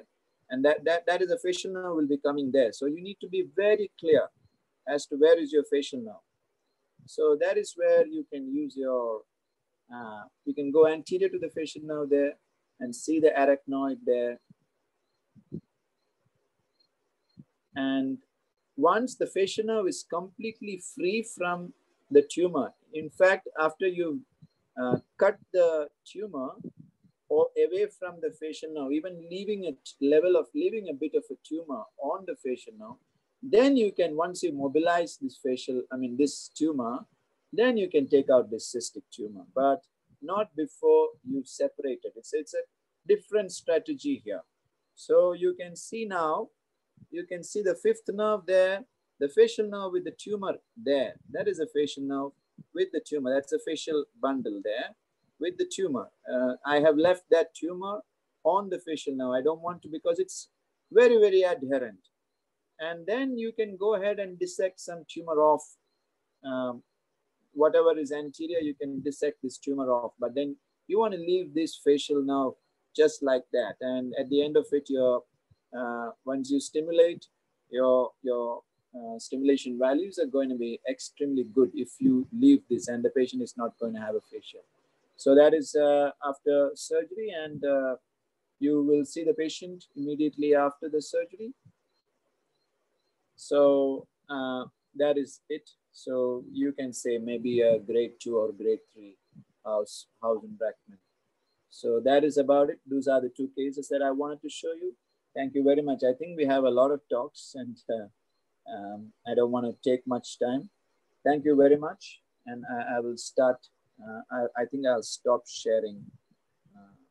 Uh, thank you, Professor Iype Cherian. That was an excellent talk. Uh, it was two excellent cases, actually. Uh, maybe we would not waste much time and probably could go to the next presentation by Dr. Professor In Moon from South Korea. He would also take it take about 10 minutes to show some interesting videos, and then we'll have the talk by Professor Borba. Professor In Moon, are you around? Uh, yes, uh, I'm here. Uh, hi. Yeah, I can oh. share my slide. Okay, just a minute.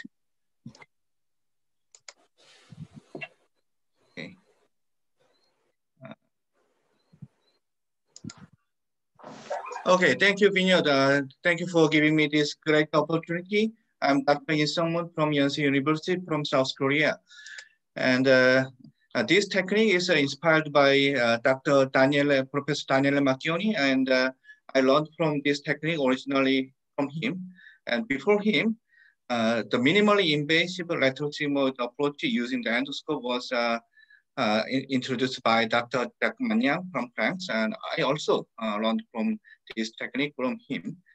So till now, uh, 145 cases of skull-base lesion using transcameral approach was reported uh, for the in the six disease category in the 13 reports, especially for the vestibular schwannoma. Uh, but till now, less than 60 cases was were reported. sorry today, uh, I, would like to share my experience, uh, but it's too much and uh, already uh, original technique was, was uh, touched by the Professor Daniel Marchioni. So I just want to share uh, very special, special modification and uh, some very special application for the, this technique. in the transpromontorial approach was criticized by some doctors because this technique uh, uh, need to drill the cochlea to uh, to remove the tumor. So it uh, takes a chance from the patient about the cochlear implant. So I try to remove the small tumor simultaneously with the cochlear implant. This concept is we can, in very small tumor, we can approach it using the not trans total transpromontorial, using the infra promontorial, and then uh, we can uh, remove the tumor, and then we can do the cochlear. This concept uh, was we discussed with many doctors using this technique. Uh, yeah, first case, uh, I, I tried to the uh, small, small uh, intralabyrinthine tumor. The tumor is confined to the utricle. So in removing in this tumor, we can save the cochlea. So it's first case. Uh, similar with uh, intracochlear uh, intravestibular schwannoma, removing the ossicle and drill the utricle, open the utricle, and we can easily, easily remove the tumor. But uh, tumor was confined and only to the utricle, so we can save the cochlea. So after tumor removal, then we I can I can insert uh, tumor uh, cochlear implant electrode. But in the first case, uh, finally, uh, he is a financial problem. I, I couldn't do the real cochlear implant, so just to insert the electrode dummy and for the future future uh, cochlear implant insertion. But the second case uh, was really really perform the cochlear vascular schwannoma removal plus cochlear implant. Yeah, this case, a small tumors confined only in the fundus area. And then uh, I just, uh, uh, I, I do the real vascular schwannoma removal plus cochlear implant. This is a cochlear basal tone. I just uh, removed hook lesion and uh, cochlear basilar junction.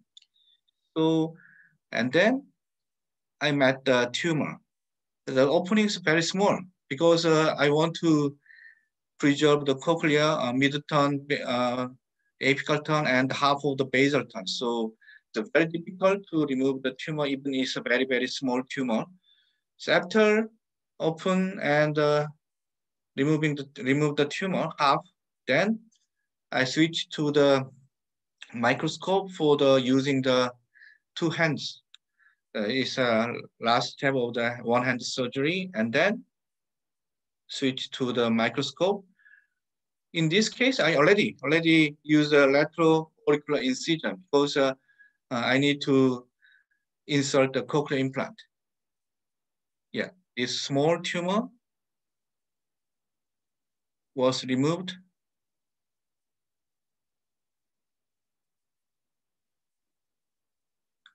Yeah, it's very, very difficult. And then this is a cochlear knob and this is a facial knob. After plugging this opening using the cell and uh, some soft tissue like the tragal perichondrium, then I perform the cochlear implant. This is a metal device. And then insert the electrode in the transcanal corridor. Yeah, I fixed this electrode using the bone dust and the glue. This is a post-op CT scan and a post-op X-ray. You can see the electrode was inserted in the cochlea using the infrapromontorial corridor. Yeah, this is my series. And the second category was a very small facial lobe schwannoma. Uh, this is my case of 49-year-old female with a facial lobe schwannoma in the left side. You can see the tumor was uh, in the intraotic canal plus geniculate ganglion area. And she has already, she had already grade three uh, facial palsy. So we discussed about the many steps and uh, patient, and I decided to remove the tumor and reconstruct his uh, facial lobe using the sural lobe. Yeah, this is a surgical video. Panic tympanic segmentofacial lobe. And uh, in this case, I use the transpromontorial approach. Totally drill the cochlea, and you can see the labyrinthine segment, tympanic segment, and the tumor. Tumor is uh, directly connected to the labyrinth segment, and in the IH segment, it's a definitely facial lobe schwannoma, and this is sural lobe. So connect to the IH segment and then labyrinth segment. In the past, in user classically, we need to drill the hole, the bone, and uh, open the very widely.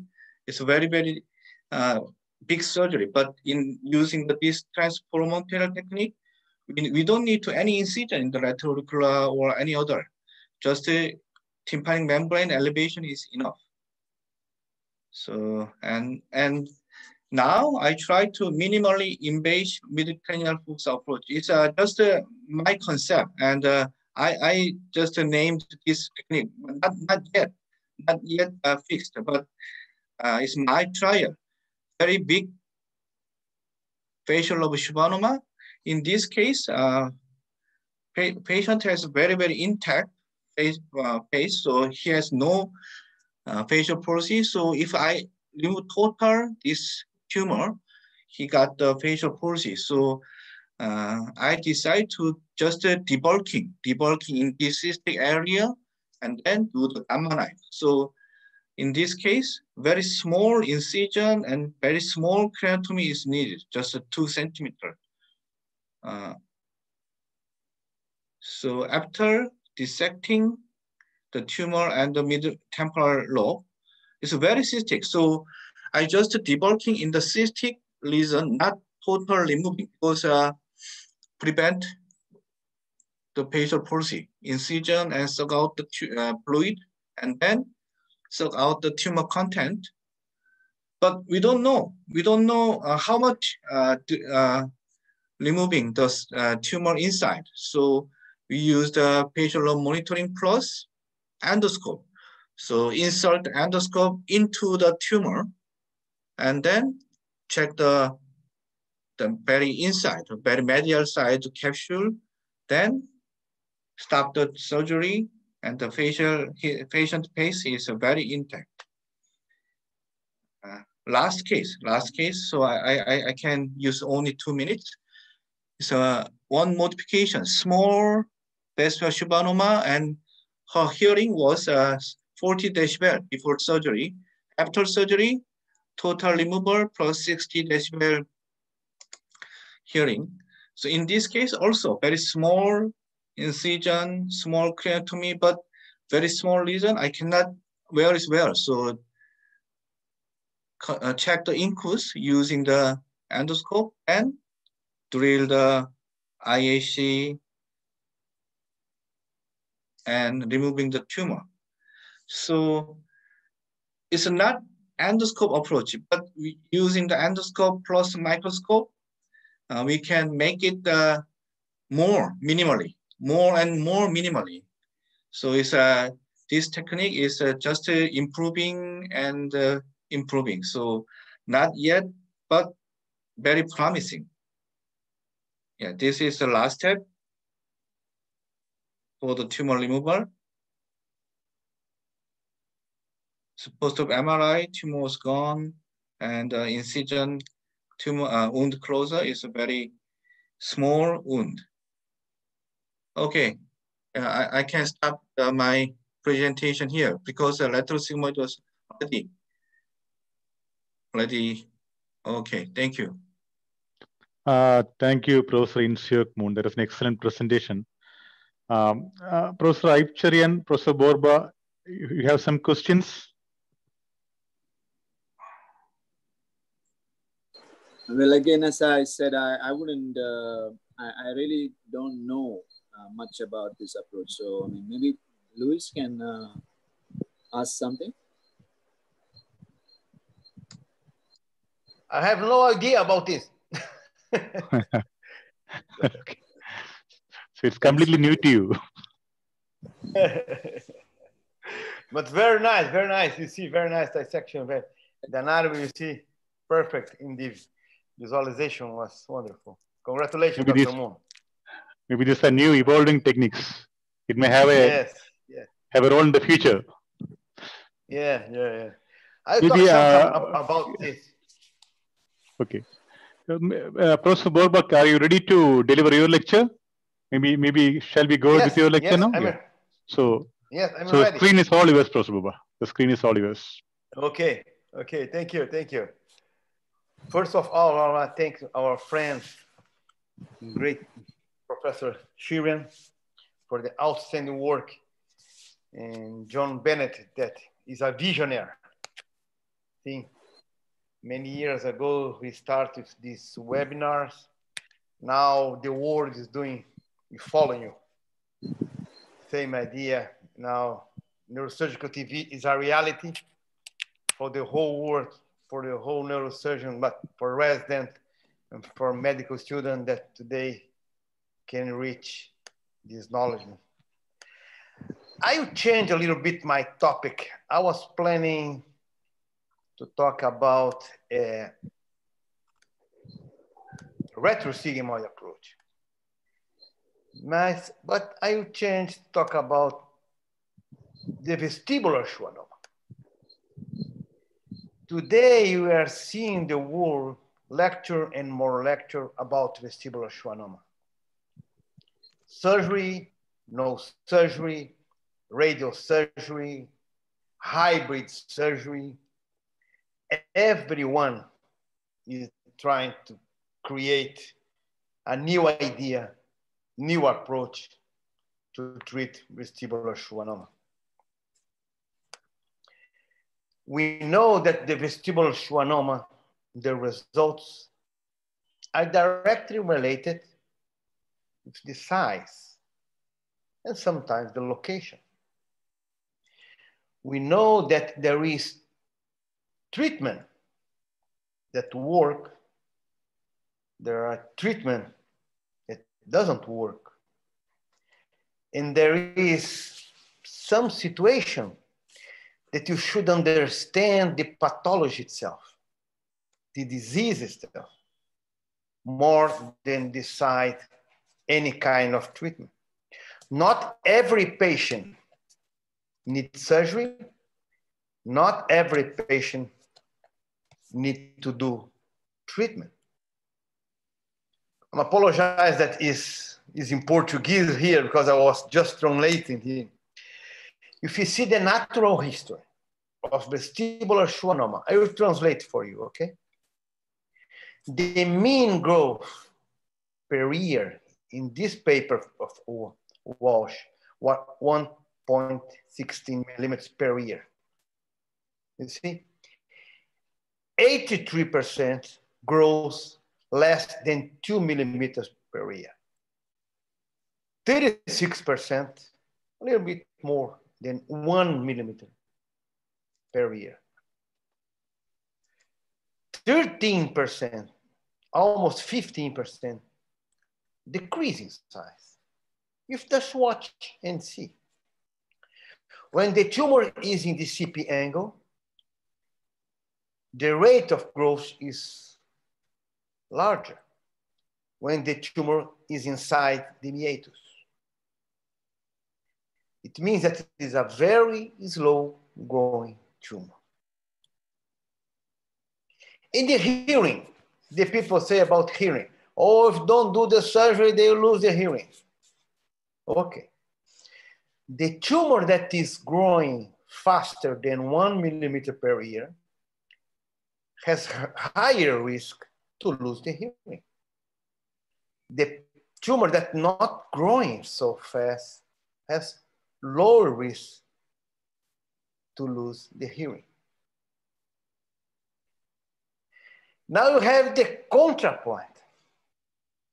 In meningioma, we, we compare a lot radio surgery with natural history.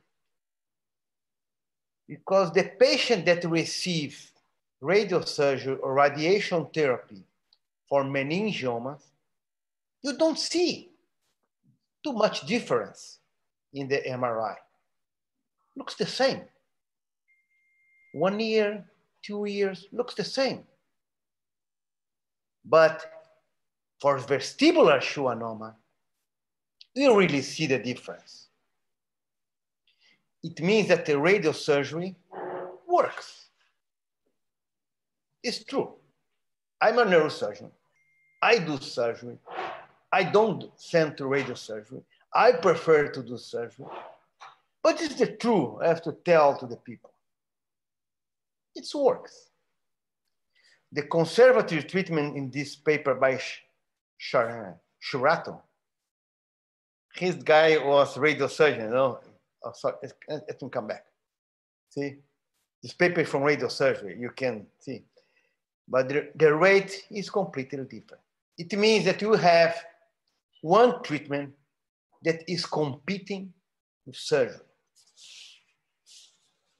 It means that the surgery, we need the best result that you can. But it does not mean you have to, to open everybody and do surgery in everybody. And there are tumors like this in 2006, almost nothing. 2011, like this.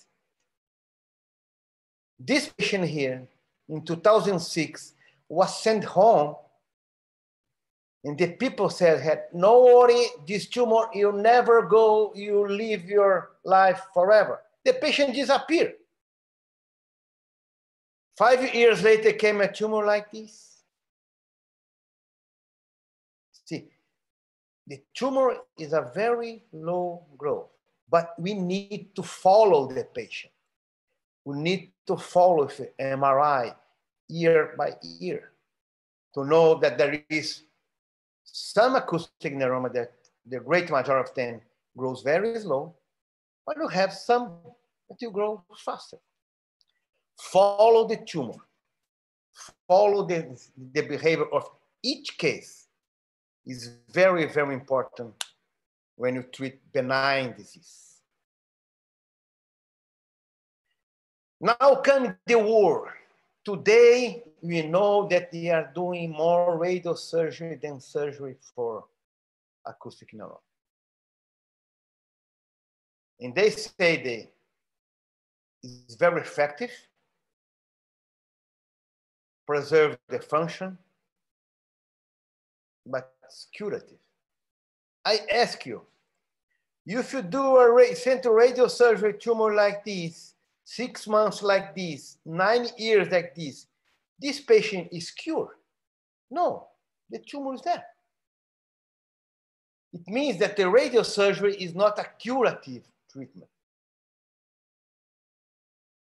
Maybe you have the control.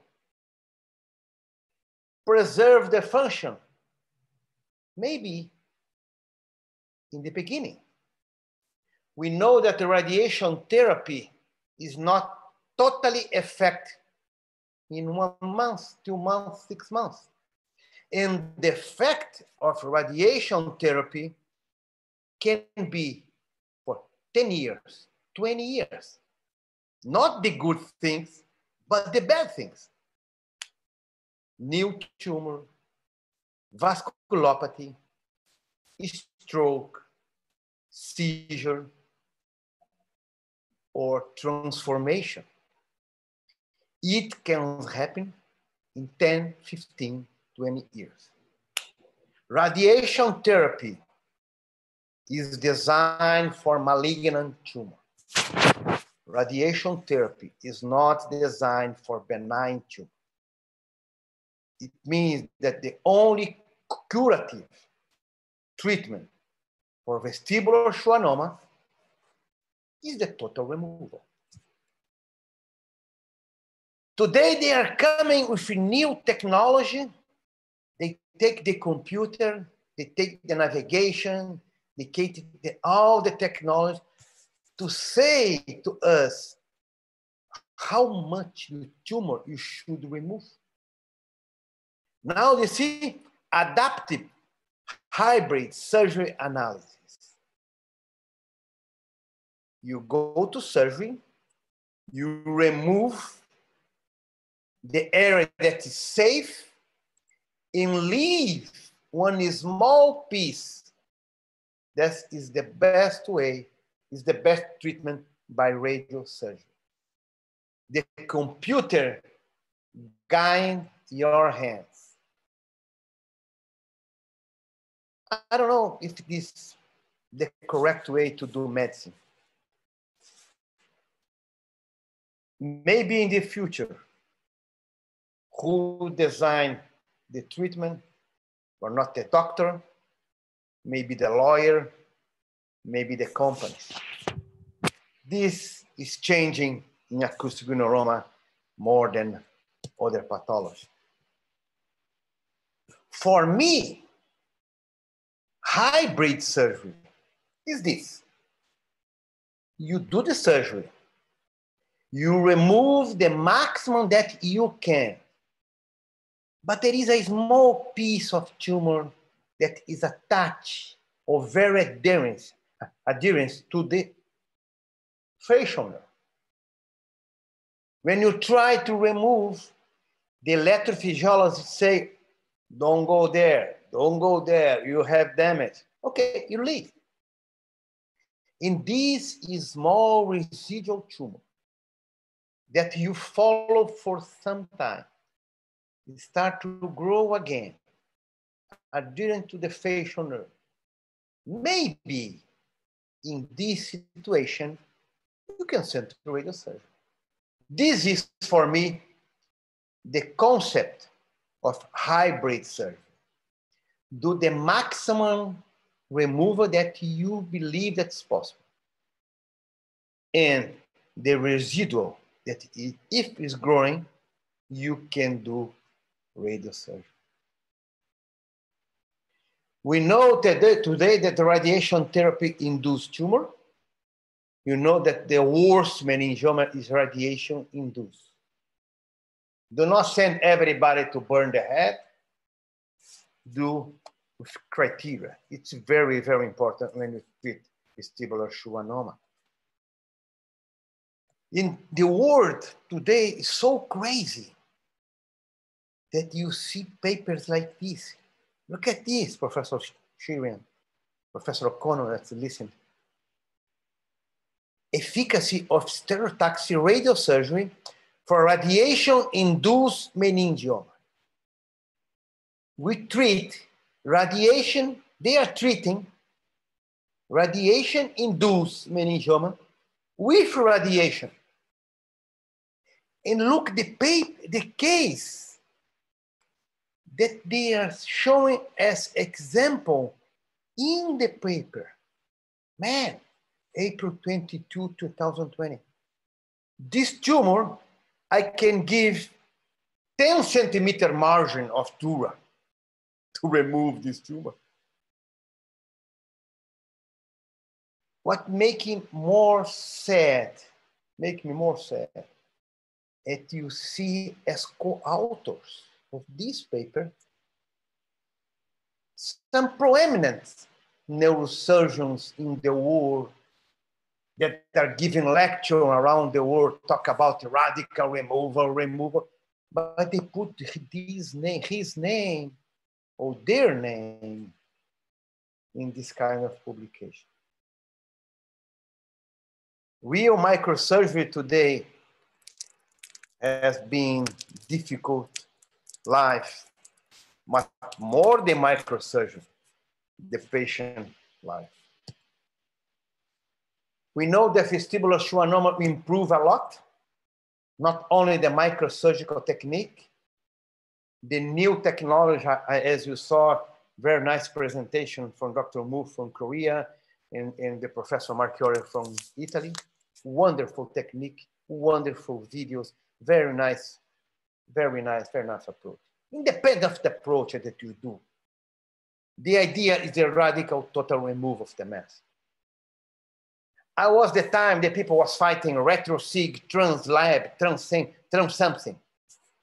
It's not this the goal. The idea is here, remove the tumor or burn their head. These are two opposites. The endoscope is helping a lot. You see very nice paper and very nice uh, case showed that Dr. Moon. Maybe Dr. Moon has, has to organize, uh, have to compare his case with natural history of the disease more than only kind of treatment. And the trans lab give you very nice view of the facial nerve from control and, this, and you do the cochlear implant at the same time is very nice, very nice idea. You should keep these ideas following. I do retrosig. I prefer to do a retrosig. As a neurosurgeon, you learn to work in the retrosigmoid area 90% of the surgery in the skull base area can be removed by pterional approach with small radiation or retro retrosigmoid approach with small radiation. It does not mean that this variation we should not learn. We should learn temporal bone, we should learn translab, we should learn presigmoid approach, we should learn cranioorbital But as a neurosurgeon, it should be mastered in retro-sigmoid approach. And for us that we are doing retro-sigmoid every day, in our workhorse, you can go retro-sigmoid approach. The position change, some people like to do same sitting position. The field is very clean. You can see very well. But I, I'm not feel comfortable, you know? I don't feel comfortable retro sit and sitting position or same sitting position. The people like to put the head, the hand there, see. It's clean, it's very clean. The video will be wonderful. Some people just turn the head I prefer to do in true lateral position and take the shoulder and pull it anteriorly. See? And I have the view directly from here. In this way, I will not turn the head. There is no problem to close the contralateral internal jugular vein. I prefer this. See, the problem with the shoulder but if you pull the shoulder anteriorly, you can have a nice view. You do a retrosigmoid uh, um, craniotomy. I know that some people does craniectomy. I prefer to do craniotomy to put the bone back. See, because if you do craniectomy, the, the muscle and the will be adherent to the dura and some patient will complain of headache. See? If you put the bone back, I think it will be better. The limit will be the posterior limit of the sigmoid sinus. In some situation, you dissect a little bit more, but the great majority of the time, if you have the transverse sinus and the sigmoid sinus, it is enough. This part I prefer to do with the drill. The other part we prefer to do with craniotomy. See? See, it goes with the drill to be safe and expose the sigmoid sinus in this area. To understand the anatomy and the idea where is the facial nerve is crucial. It's difficult to identify where is the facial nerve in the middle but you know where is the facial nerve in the brainstem, you know where is the facial nerve in the internal auditory canal. You need to have the two stumps and follow from medial to lateral, from lateral to medial, and keep the middle, the tumor in the middle. I learned with masters as Professor Kono, as our friend here from Brazil, Dr. Vellutini and Professor Samii, that there is arachnoid.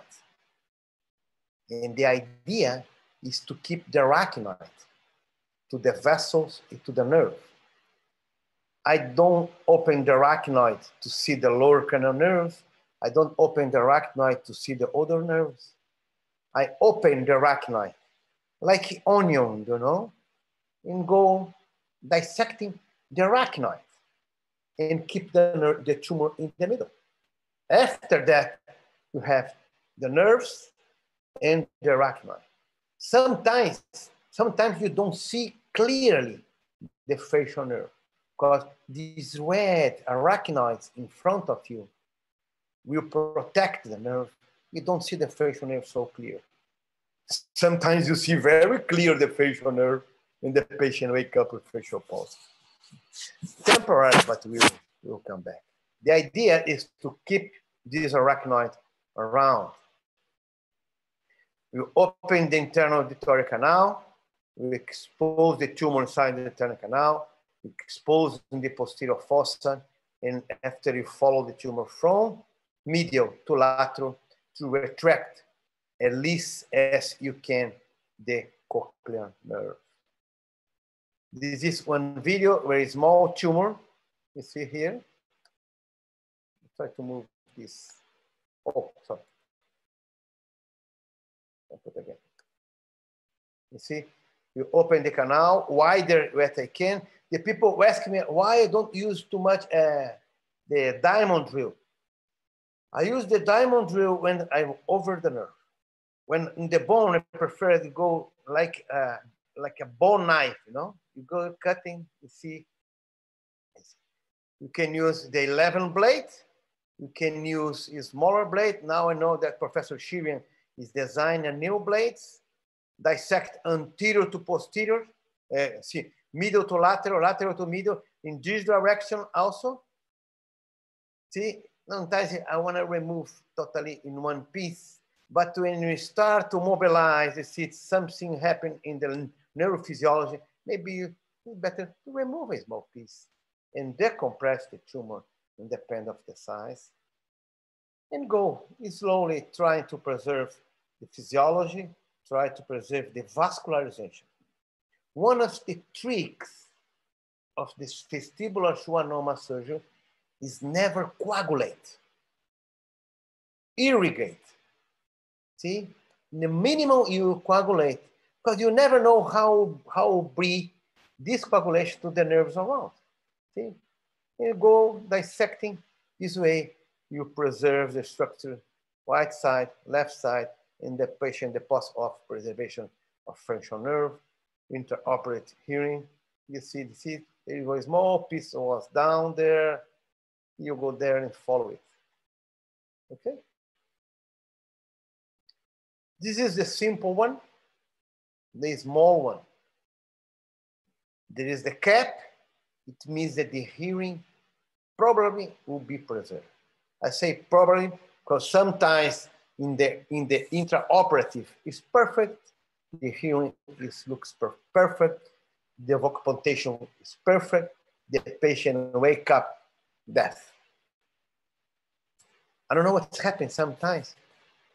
The intraoperative to say everything is okay in the post-operative. It's surgery, something, maybe ischemia, maybe some ischemia that come later.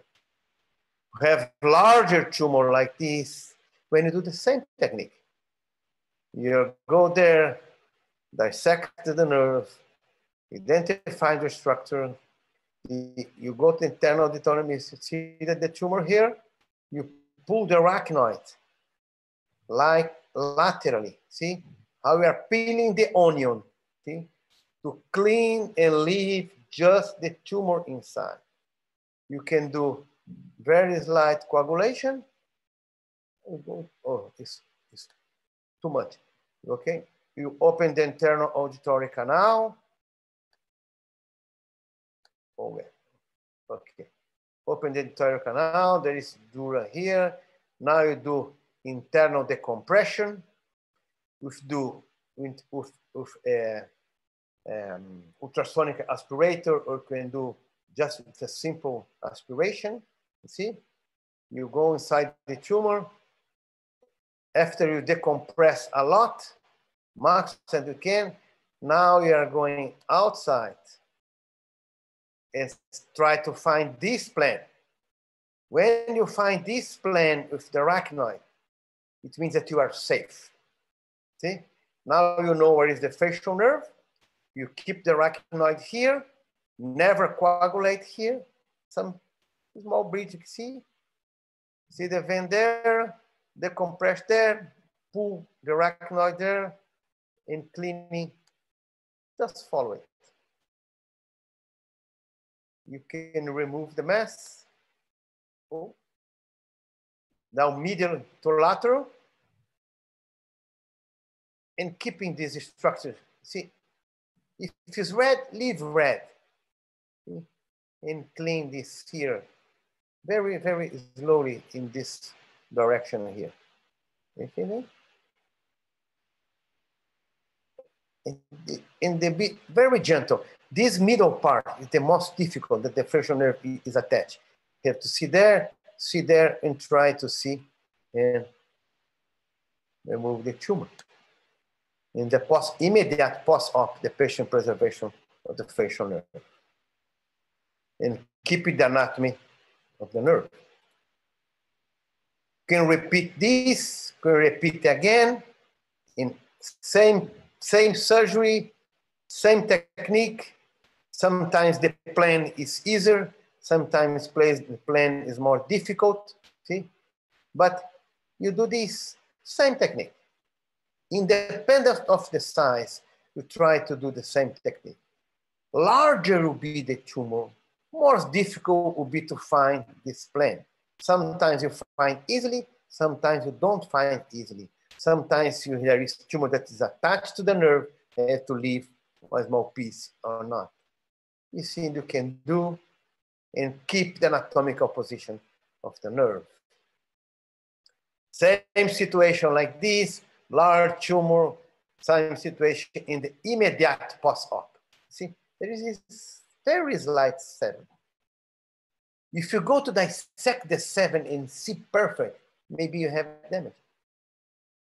Sometimes you do the surgery like this. You don't see the nerves. Have no idea where is the facial nerve in this situation. Is isn't this arachnoid? or a very thick arachnoid. What I did, I dissect the arachnoid. And I left the arachnoid to the porus into the brainstem.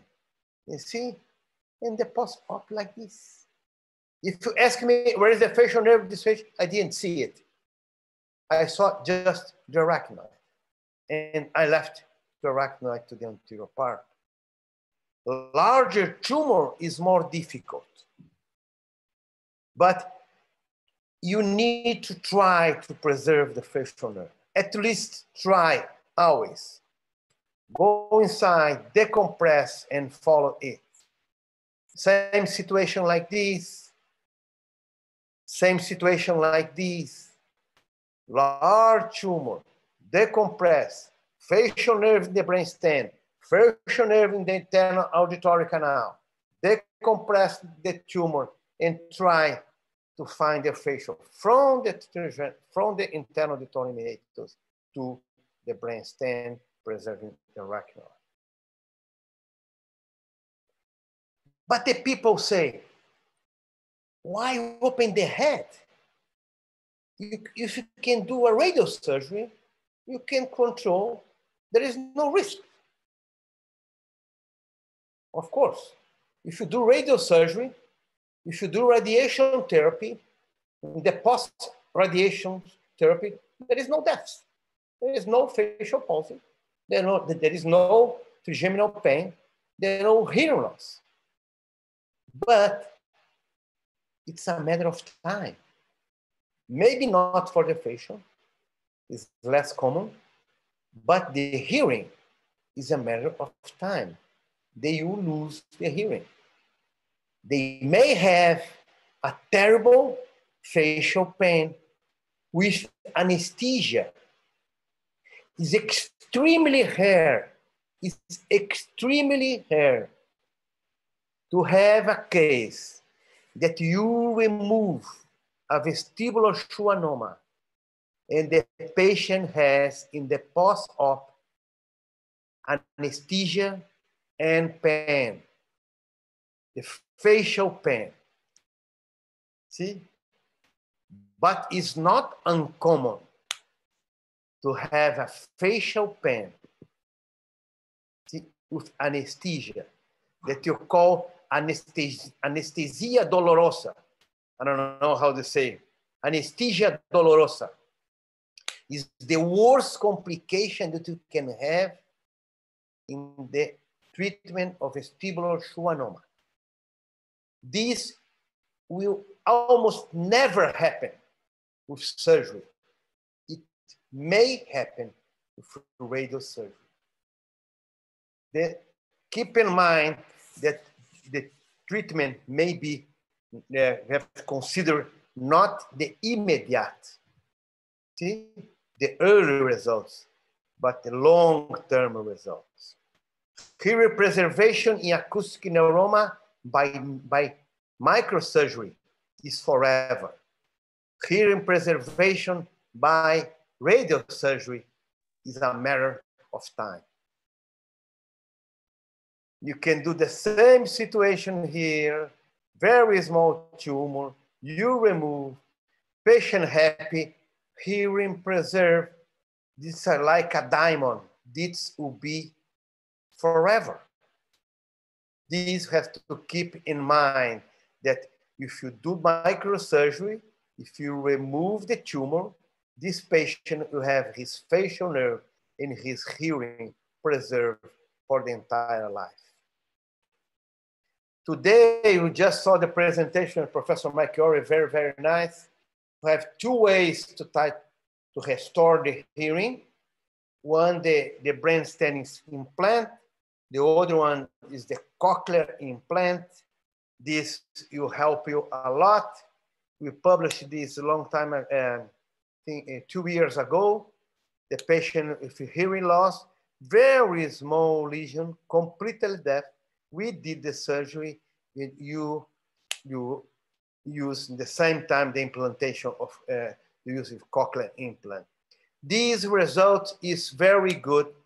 The patient adapt very well, but the patient has to understand the physiotherapy to recover of the hearing, to adapt the hearing is a very important, very important uh, uh, part in the treatment. Not only the surgery, the post-op physical therapy for recovery the hearing and to adapt the hearing is very important part of the treatment. More important than this is the intraoperative uh, the implant. This is a save life procedure. What you say save life procedure? To save the life of the patient. He'll not recover the hearing perfect. He continues to be almost deaf. But this procedure can save life. Do you know why? This guy can cross the street. If the car is coming, he can hear the noise of the car. If something wrong is happening, he can hear the noise of, of this. If he's doing very good physical therapy or uh, the, the phonotherapy and physical therapy in the post implant, they need a lot of efforts, a lot of, a lot of efforts. They can have not the real total normal life, but they will have a very good adapted life. These procedures is very important. A little bit that change for this guy that was totally deaf would be the best thing that you can do. If he, if he can hear something, see, changing completely his life. Sometimes have a case like this that's coming in Brazil, that's coming in India, that's coming you cannot save the facial nerve. The patient has facial pulse in the post op. But this beautiful lady, you save her life. This surgery is to save the life of the patient, not the facial nerve, not the hearing. It's to save the life. I know that today many people showing tumor larger than this and saving facial nerve and saving hearing and saving everything. I'm sorry, but in my hands, it doesn't work this way. I have large tumor with vestibular schwannoma, the facial in the post-op. Of course, I have cases like this. I have small tumors that I don't know what's happened sometimes, the facial pulse. It's surgery, it's neurosurgery, it's life of neurosurgeon. It's important, important to tell the truth. We only, in microsurgery, in the, neuro, the neurosurgery, will only survive against the machine, against the business, against the lawyer. You should tell the real truth for the patient. This beautiful lady will save her life the facial nerve was not totally safe. Now she's very happy. She's did some cosmetic treatment and some treatment to, to, to improve his facial palsy. We have new techniques to repair. This lateral procedure is very good for aesthetics. You see in the post-op, looks nice. You have a new technique like this, you see, this you see, masseteric nerve transfer is a very, very nice result. This is the post-op C. You see this is long time. You see is improving the quality of life. The quality of life is first tumor-free.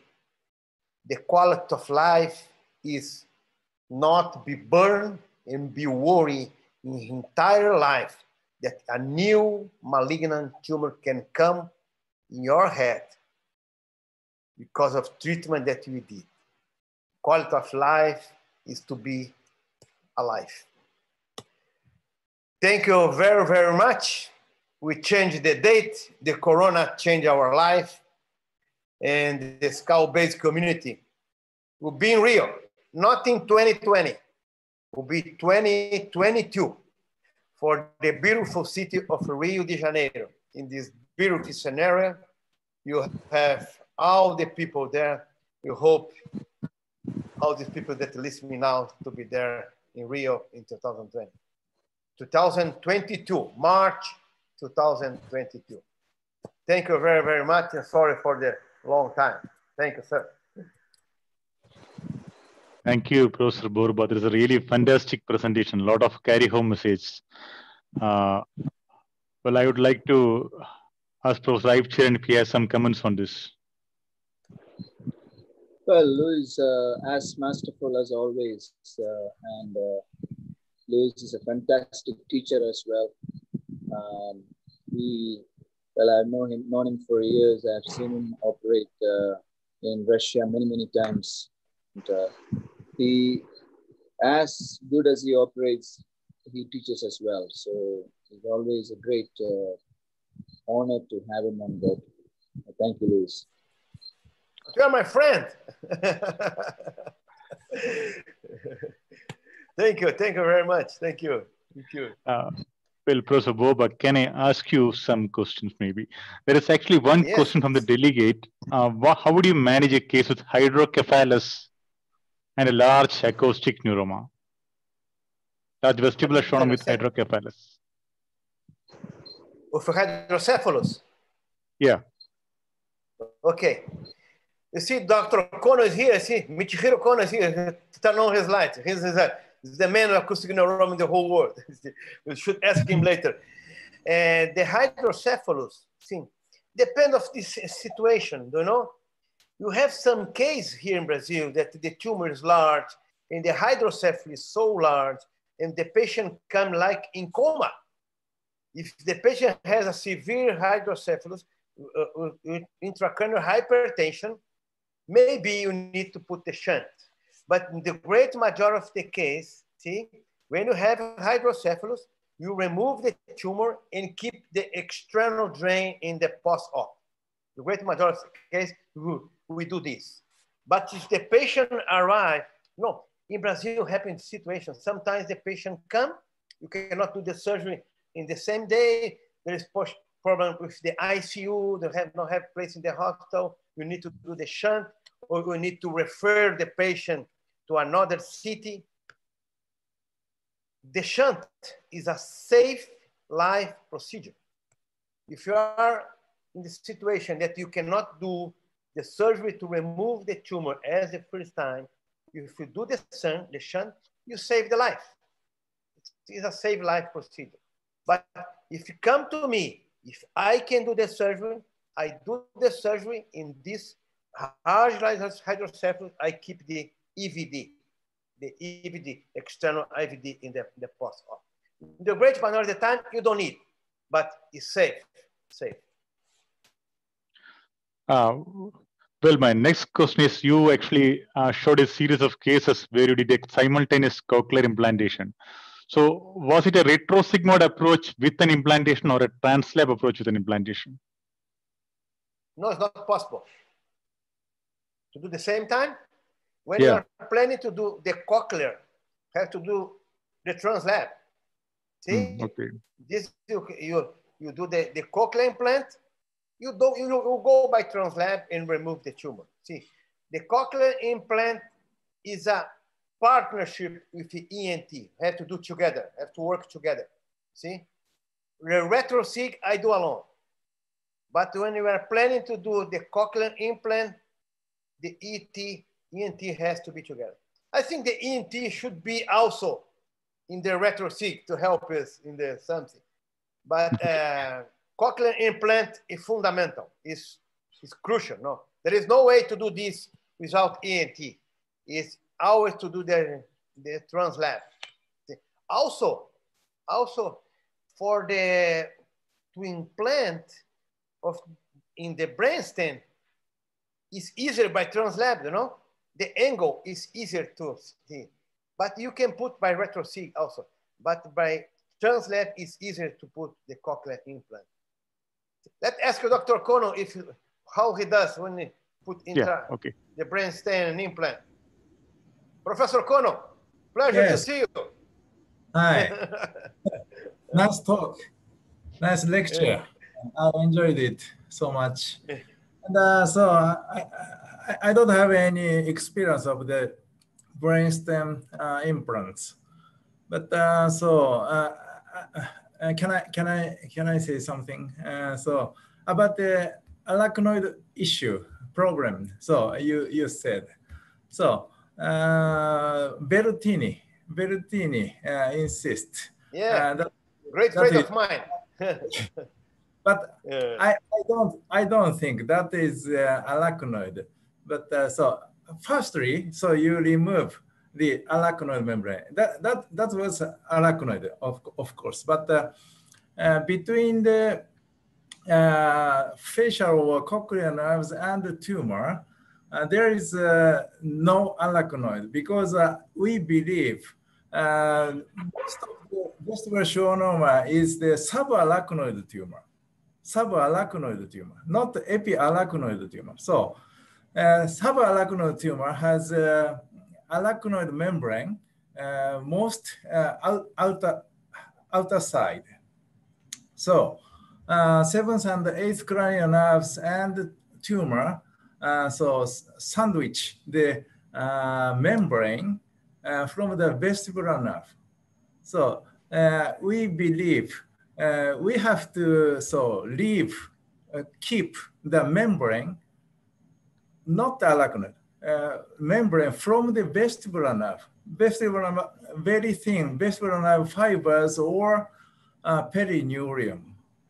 So uh, uh, if I keep uh, the membrane, uh, so uh, uh, membrane, and so we can we can easily to preserve facial and cochlear nerve function. That's my comment. Yes, yeah, great. You call membrane, you don't call arachnoid.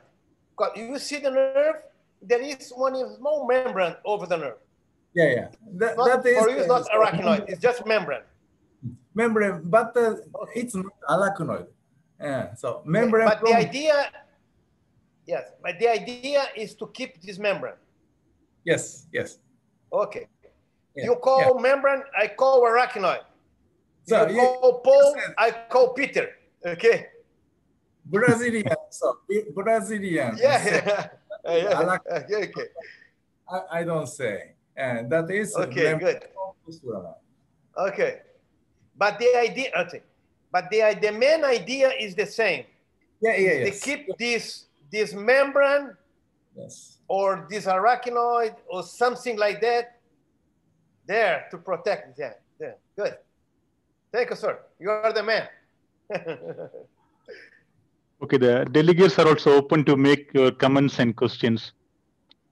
there is Dr. Rebat. Redab? Yeah. Um, um, hi, Professor. I'm Dr. Rida from Jordan. Um, my young neurosurgeon just certified last March. Well, my questions in brief. Um, in case of that huge or super large um, vestibular schwannomas where the lady had um, the facial palsy, in such case, would you prefer to do partial resections and then you complete the remaining part in radiosurgery? Did you get my question? Or should I Yes, repeat? I understand. Okay. Don't know. Uh, this is the most difficult question today in the world. Uh, I never do surgery trying go go to the surgery and say I do partial removal. You know why? Because the time that I did this, the partial was too partial. See? Okay. What I do, I go to surgery and try to remove the maximum that I can, but following very, very close the intraoperative monitoring and try to identify the nerve. If I start to do the surgery, then I feel that I can lose the facial nerve. See? It's better to leave, you know? It's better to leave one small piece. See? And but not give radio surgery later. Wait and see. Wait and see. Because sometimes this is small remaining tumor do not grow so fast. Sometimes doesn't grow. And you can follow it with the time. I never send patient to radio surgery in advance. I send to radio surgery when there is approved growth of the tumor. Do you know what I mean? Was clear? Yeah, sure. Thank you, sir. And thank you for the great presentations. Thank you. Thank you. Thank you. Uh, any comments from Professor Marchioni or Professor Moon? Um, yeah, um, one comment is about uh, um, the cochlear implants uh, in this in simultaneous cochlear implants. It's very important also the dissection that is right. You have to uh, preserve the arachnoid as much as possible. But another important aspect is to preserve the labyrinthine artery because uh, you know that this artery run inside internal auditory canal and uh, sometimes it's not easy to preserve. And if you coagulate this artery, sometimes you can have a good results at the beginning, but after following the patient, the patient can have some decreasing of the results. So it's really another important aspect uh, when uh, you are performing cochlear implants in, um, um, in translab approach, it's use a cottonoid, preserve as much as possible all the small artery run along the internal auditory canal. That's a very good point. Yeah, very good point. Very good point. Okay. Great. Professor Kohno. Yes. Hi. When you do when you do translate, never. Yeah, uh, three percent over patient, I used translabyrinthine approach. And uh, what, what is this? I use translabyrinthine approach for the, the case with the previous surgery uh, using retrosigmoid approach. So I do the new new way. So to use the translab, but uh, we usually why why why huh? why you why you do the new way? Pre previous surgery was done via the retrosigmoid approach. So uh, I would like to so go a new way. So that's why uh, I use translab, but uh, only 3% because translabyrinthine approach is very narrow, narrow approach. So I usually do the continuous facial nerve monitoring. So I need space, okay? So that's why 97% of our patient, I use the retrosigmoid approach. More than 1,400 cases, I use the, most of our patients, I use the uh, retrosigmoid approach as, as you like, so as you. And, and just uh, another comment uh, regarding the translab approach. Um, another indication in, in our department, because we are using also retrosigmoid approach, but uh, another indication for translab approach, especially when you have to do surgery in all the patients. When, for example, you have a patient over six, 75 with a huge tumor, in order to avoid to retract the cerebellum, in order to avoid to put in a semi-sitting position, and uh, probably in this patient, you can use a decompression, removing as much as possible the tumor is not uh, so important to remove all the tumor, but to decompress because the age of the patient. And if you are using the translab approach, you avoid the retraction of a cerebellum that is really important. And uh, regarding the space and the surgical work in the translab, one of the most important secret is to decompress the sinus, to decompress the middle fossa dura, and also to perform a transapical extension of the drilling through the internal canal. In this way, you can gain more space, of course. If you do a traditional translab, uh, you have uh, a, a, small space with respect to the, the retrosigmoid, but if you do a transapical, sometimes you can manage without a problem.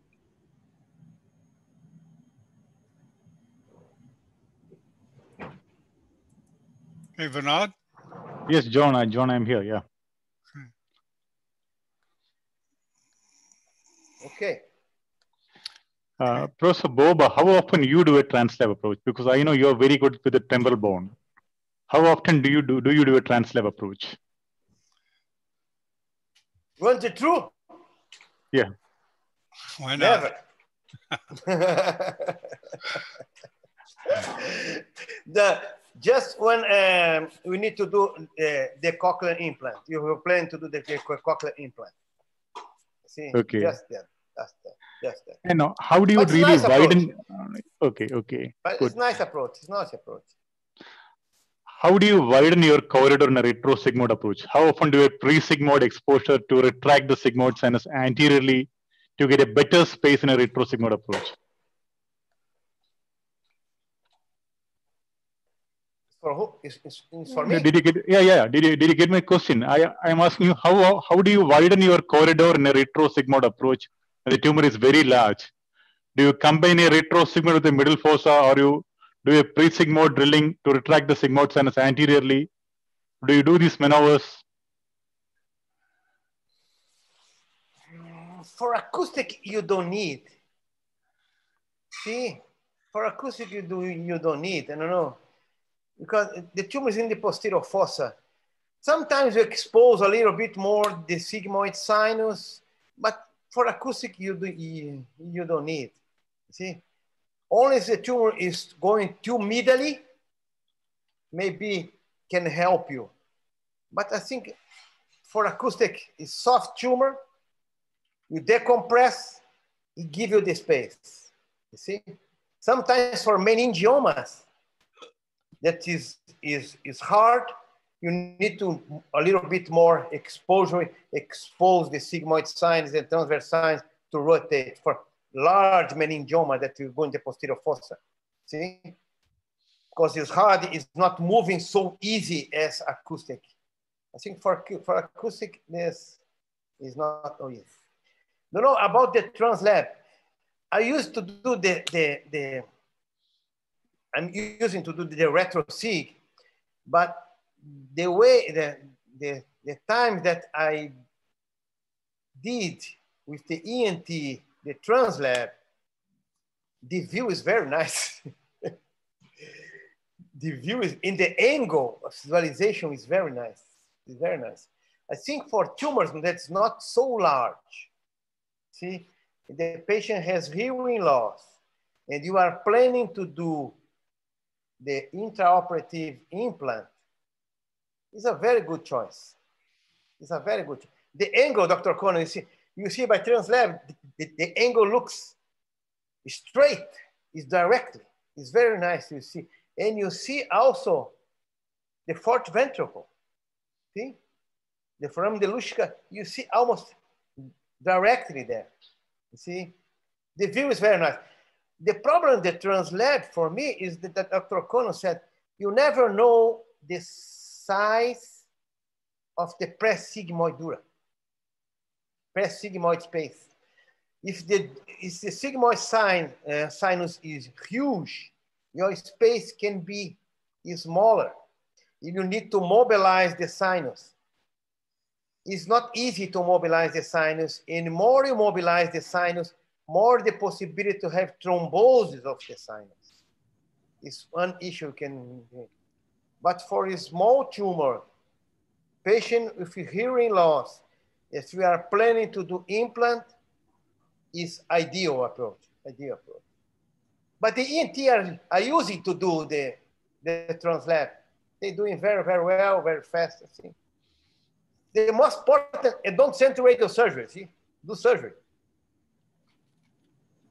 And also, also uh, we have to give up, give up the hearing preservation for large tumors if, if we use the translabyrinth approach. So retrosigmoid approach uh, can provide the possibility of hearing preservation for larger tumors. So that that's a, so another reason. Uh, there's actually one question from the delegate. Uh, how much of retraction in the cerebellum is safe? How much of retraction in the cerebellum is safe? Zero. How much? okay. Go ahead. Do you mean zero is safe? Oh, okay. uh, the same thing I can ask you. How safe is dissect, put the drill over the sigmoid sinus? Hmm. Zero. Okay. You can dissect, can damage, can thrombose, can happen. But for acoustic neuroma, the retraction of the cerebellum is not so high. You don't need to retract too much. Don't need to. The great majority of the time, you have, you have the space. See? And the cerebellum come down alone. See, I use the spatula to protect against my instrument sometimes, not to retract. Because you are doing the instrument, go inside, sometimes you can touch the cerebellum. I use just to hold, but not to oh, not to pull back like this. See? When um, you leave this in the end of the surgery, you retract, you remove the retract the the spatula, the cerebellum is there. It's quiet. But you are not retracting, you're just protecting the great matter of the time. But I think Dr. Kohno want to say something. I, I agree. I agree. Totally agree with you. So we don't we don't use uh, retractor. Uh, so So 1% of swe uh, cerebral swe swelling risk. Okay. But but the swelling is not by not by retraction. The swelling is because of vein sometimes. Hmm. That's true. That's true. Damage some vein, more vein than real retraction. See? In the vein, you can damage in any approach. That's true. Uh, well, I think there are no more questions from delegates. There is a lady uh, here, uh, her name. How you spell, how you spell your, your surname? Al-Kataka, how say this? Oh, Al Khataiba. Al-Kataiba. Good, Yeah, good. thank you. Go Um, ahead, well, please. so- Yeah. Um, well, one, one more questions, uh, if you don't mind. Um, I, I was wondering how often you use the facial nerve monitoring intraoperatively, if you ever use it. 100%. Perfect. If there is no possibility to do intraoperative monitor facial nerve, no surgery. Perfect. Okay. Okay? Yeah. Thank you. But I wish, I wish to have the same technology that Professor Kohno has for intraoperative monitoring with his small chips that he put close to the brainstem. One day we'll have this, one day, maybe in, in 20 years. Continuous monitoring. Continuous monitoring. Yes, continuous monitoring. Continuous Now the new, the new, now the, the, the new equipment from some company, I cannot say the name, they are need to- doing continuous monitoring. Yes. But uh, this is not the more, how to say, not free running, not free running. So continuous stimulation. So uh, unique medical from Japan. yeah, Ball, ball type, ball type electrode on the facial nerve. yeah. It's continuous stimulation all the time. It's become very easy to do surgery. See? So one hertz, one hertz uh, frequency uh, stimulation. So during during tumor dissection, we can we can monitor during tumor dissection. So Yeah. it's strongest monitoring. It's continuous stimulation, yes? Yes, one hertz, uh, high frequency, high frequency, nearly continuous. It's, okay, it's not continuous monitoring. I Yeah. do continue Compare- monitoring. You do Very- continuous stimulation. Yes, very high frequency stimulation. Yeah, this is the trick. But only in Japan. Uh, I don't think so. Uh, Tatagiba, Tatagiba, so What want one? to to try. Yeah? He wanna buy one, but he, he- he doesn't have. No, maybe maybe soon you have this. This great idea because it's the continuous stimulation is perfect. Yes. Because we are doing continuous monitoring, Yes. saying to us when you stimulate is completely different than monitoring. See? Mm, stimulation, stimulation. Okay, good. This is a trick. Thank you. Yeah. Now it's lunchtime I in will- Brazil. See? well, I think uh, it's running late here too. I think if there are no more questions from delegates, we could probably conclude this session. So I would like to thank again all the speakers, Professor Marchioni, Professor In Seok Moon, Professor Iype Professor Luis Borba, and and Professor Kohno also for giving us their, ex- their experience, their expertise, everything in a nutshell of two minutes, two hours, sorry. So an excellent presentation again. So thank you once again, all the speakers. And I would also like to thank uh, Dr. John Bennett. I think I would, I, would, I would have already given him the Nobel Prize for his service in my mind. It's an excellent service he's doing for all the medical fraternity. And I know that he's spending sleepless nights behind this neurosurgical TV. Thank you, Dr. John Bennett, once again. And also thank you, Dr. Hira and uh, Dr. Voralex for helping us with this webinar, webinars. So thank you all. Probably we could conclude the session. Over to Dr. John Bennett. Okay, I'd like to thank you. Thank you for all the kind words, uh, especially Dr. Borba. Thank you very much. And uh, Dr. Cherian, uh, he was with us from the very start. Uh, he gave me the inspiration actually to explore the neurosurgery space. Uh, what's the topic next week, Vinod?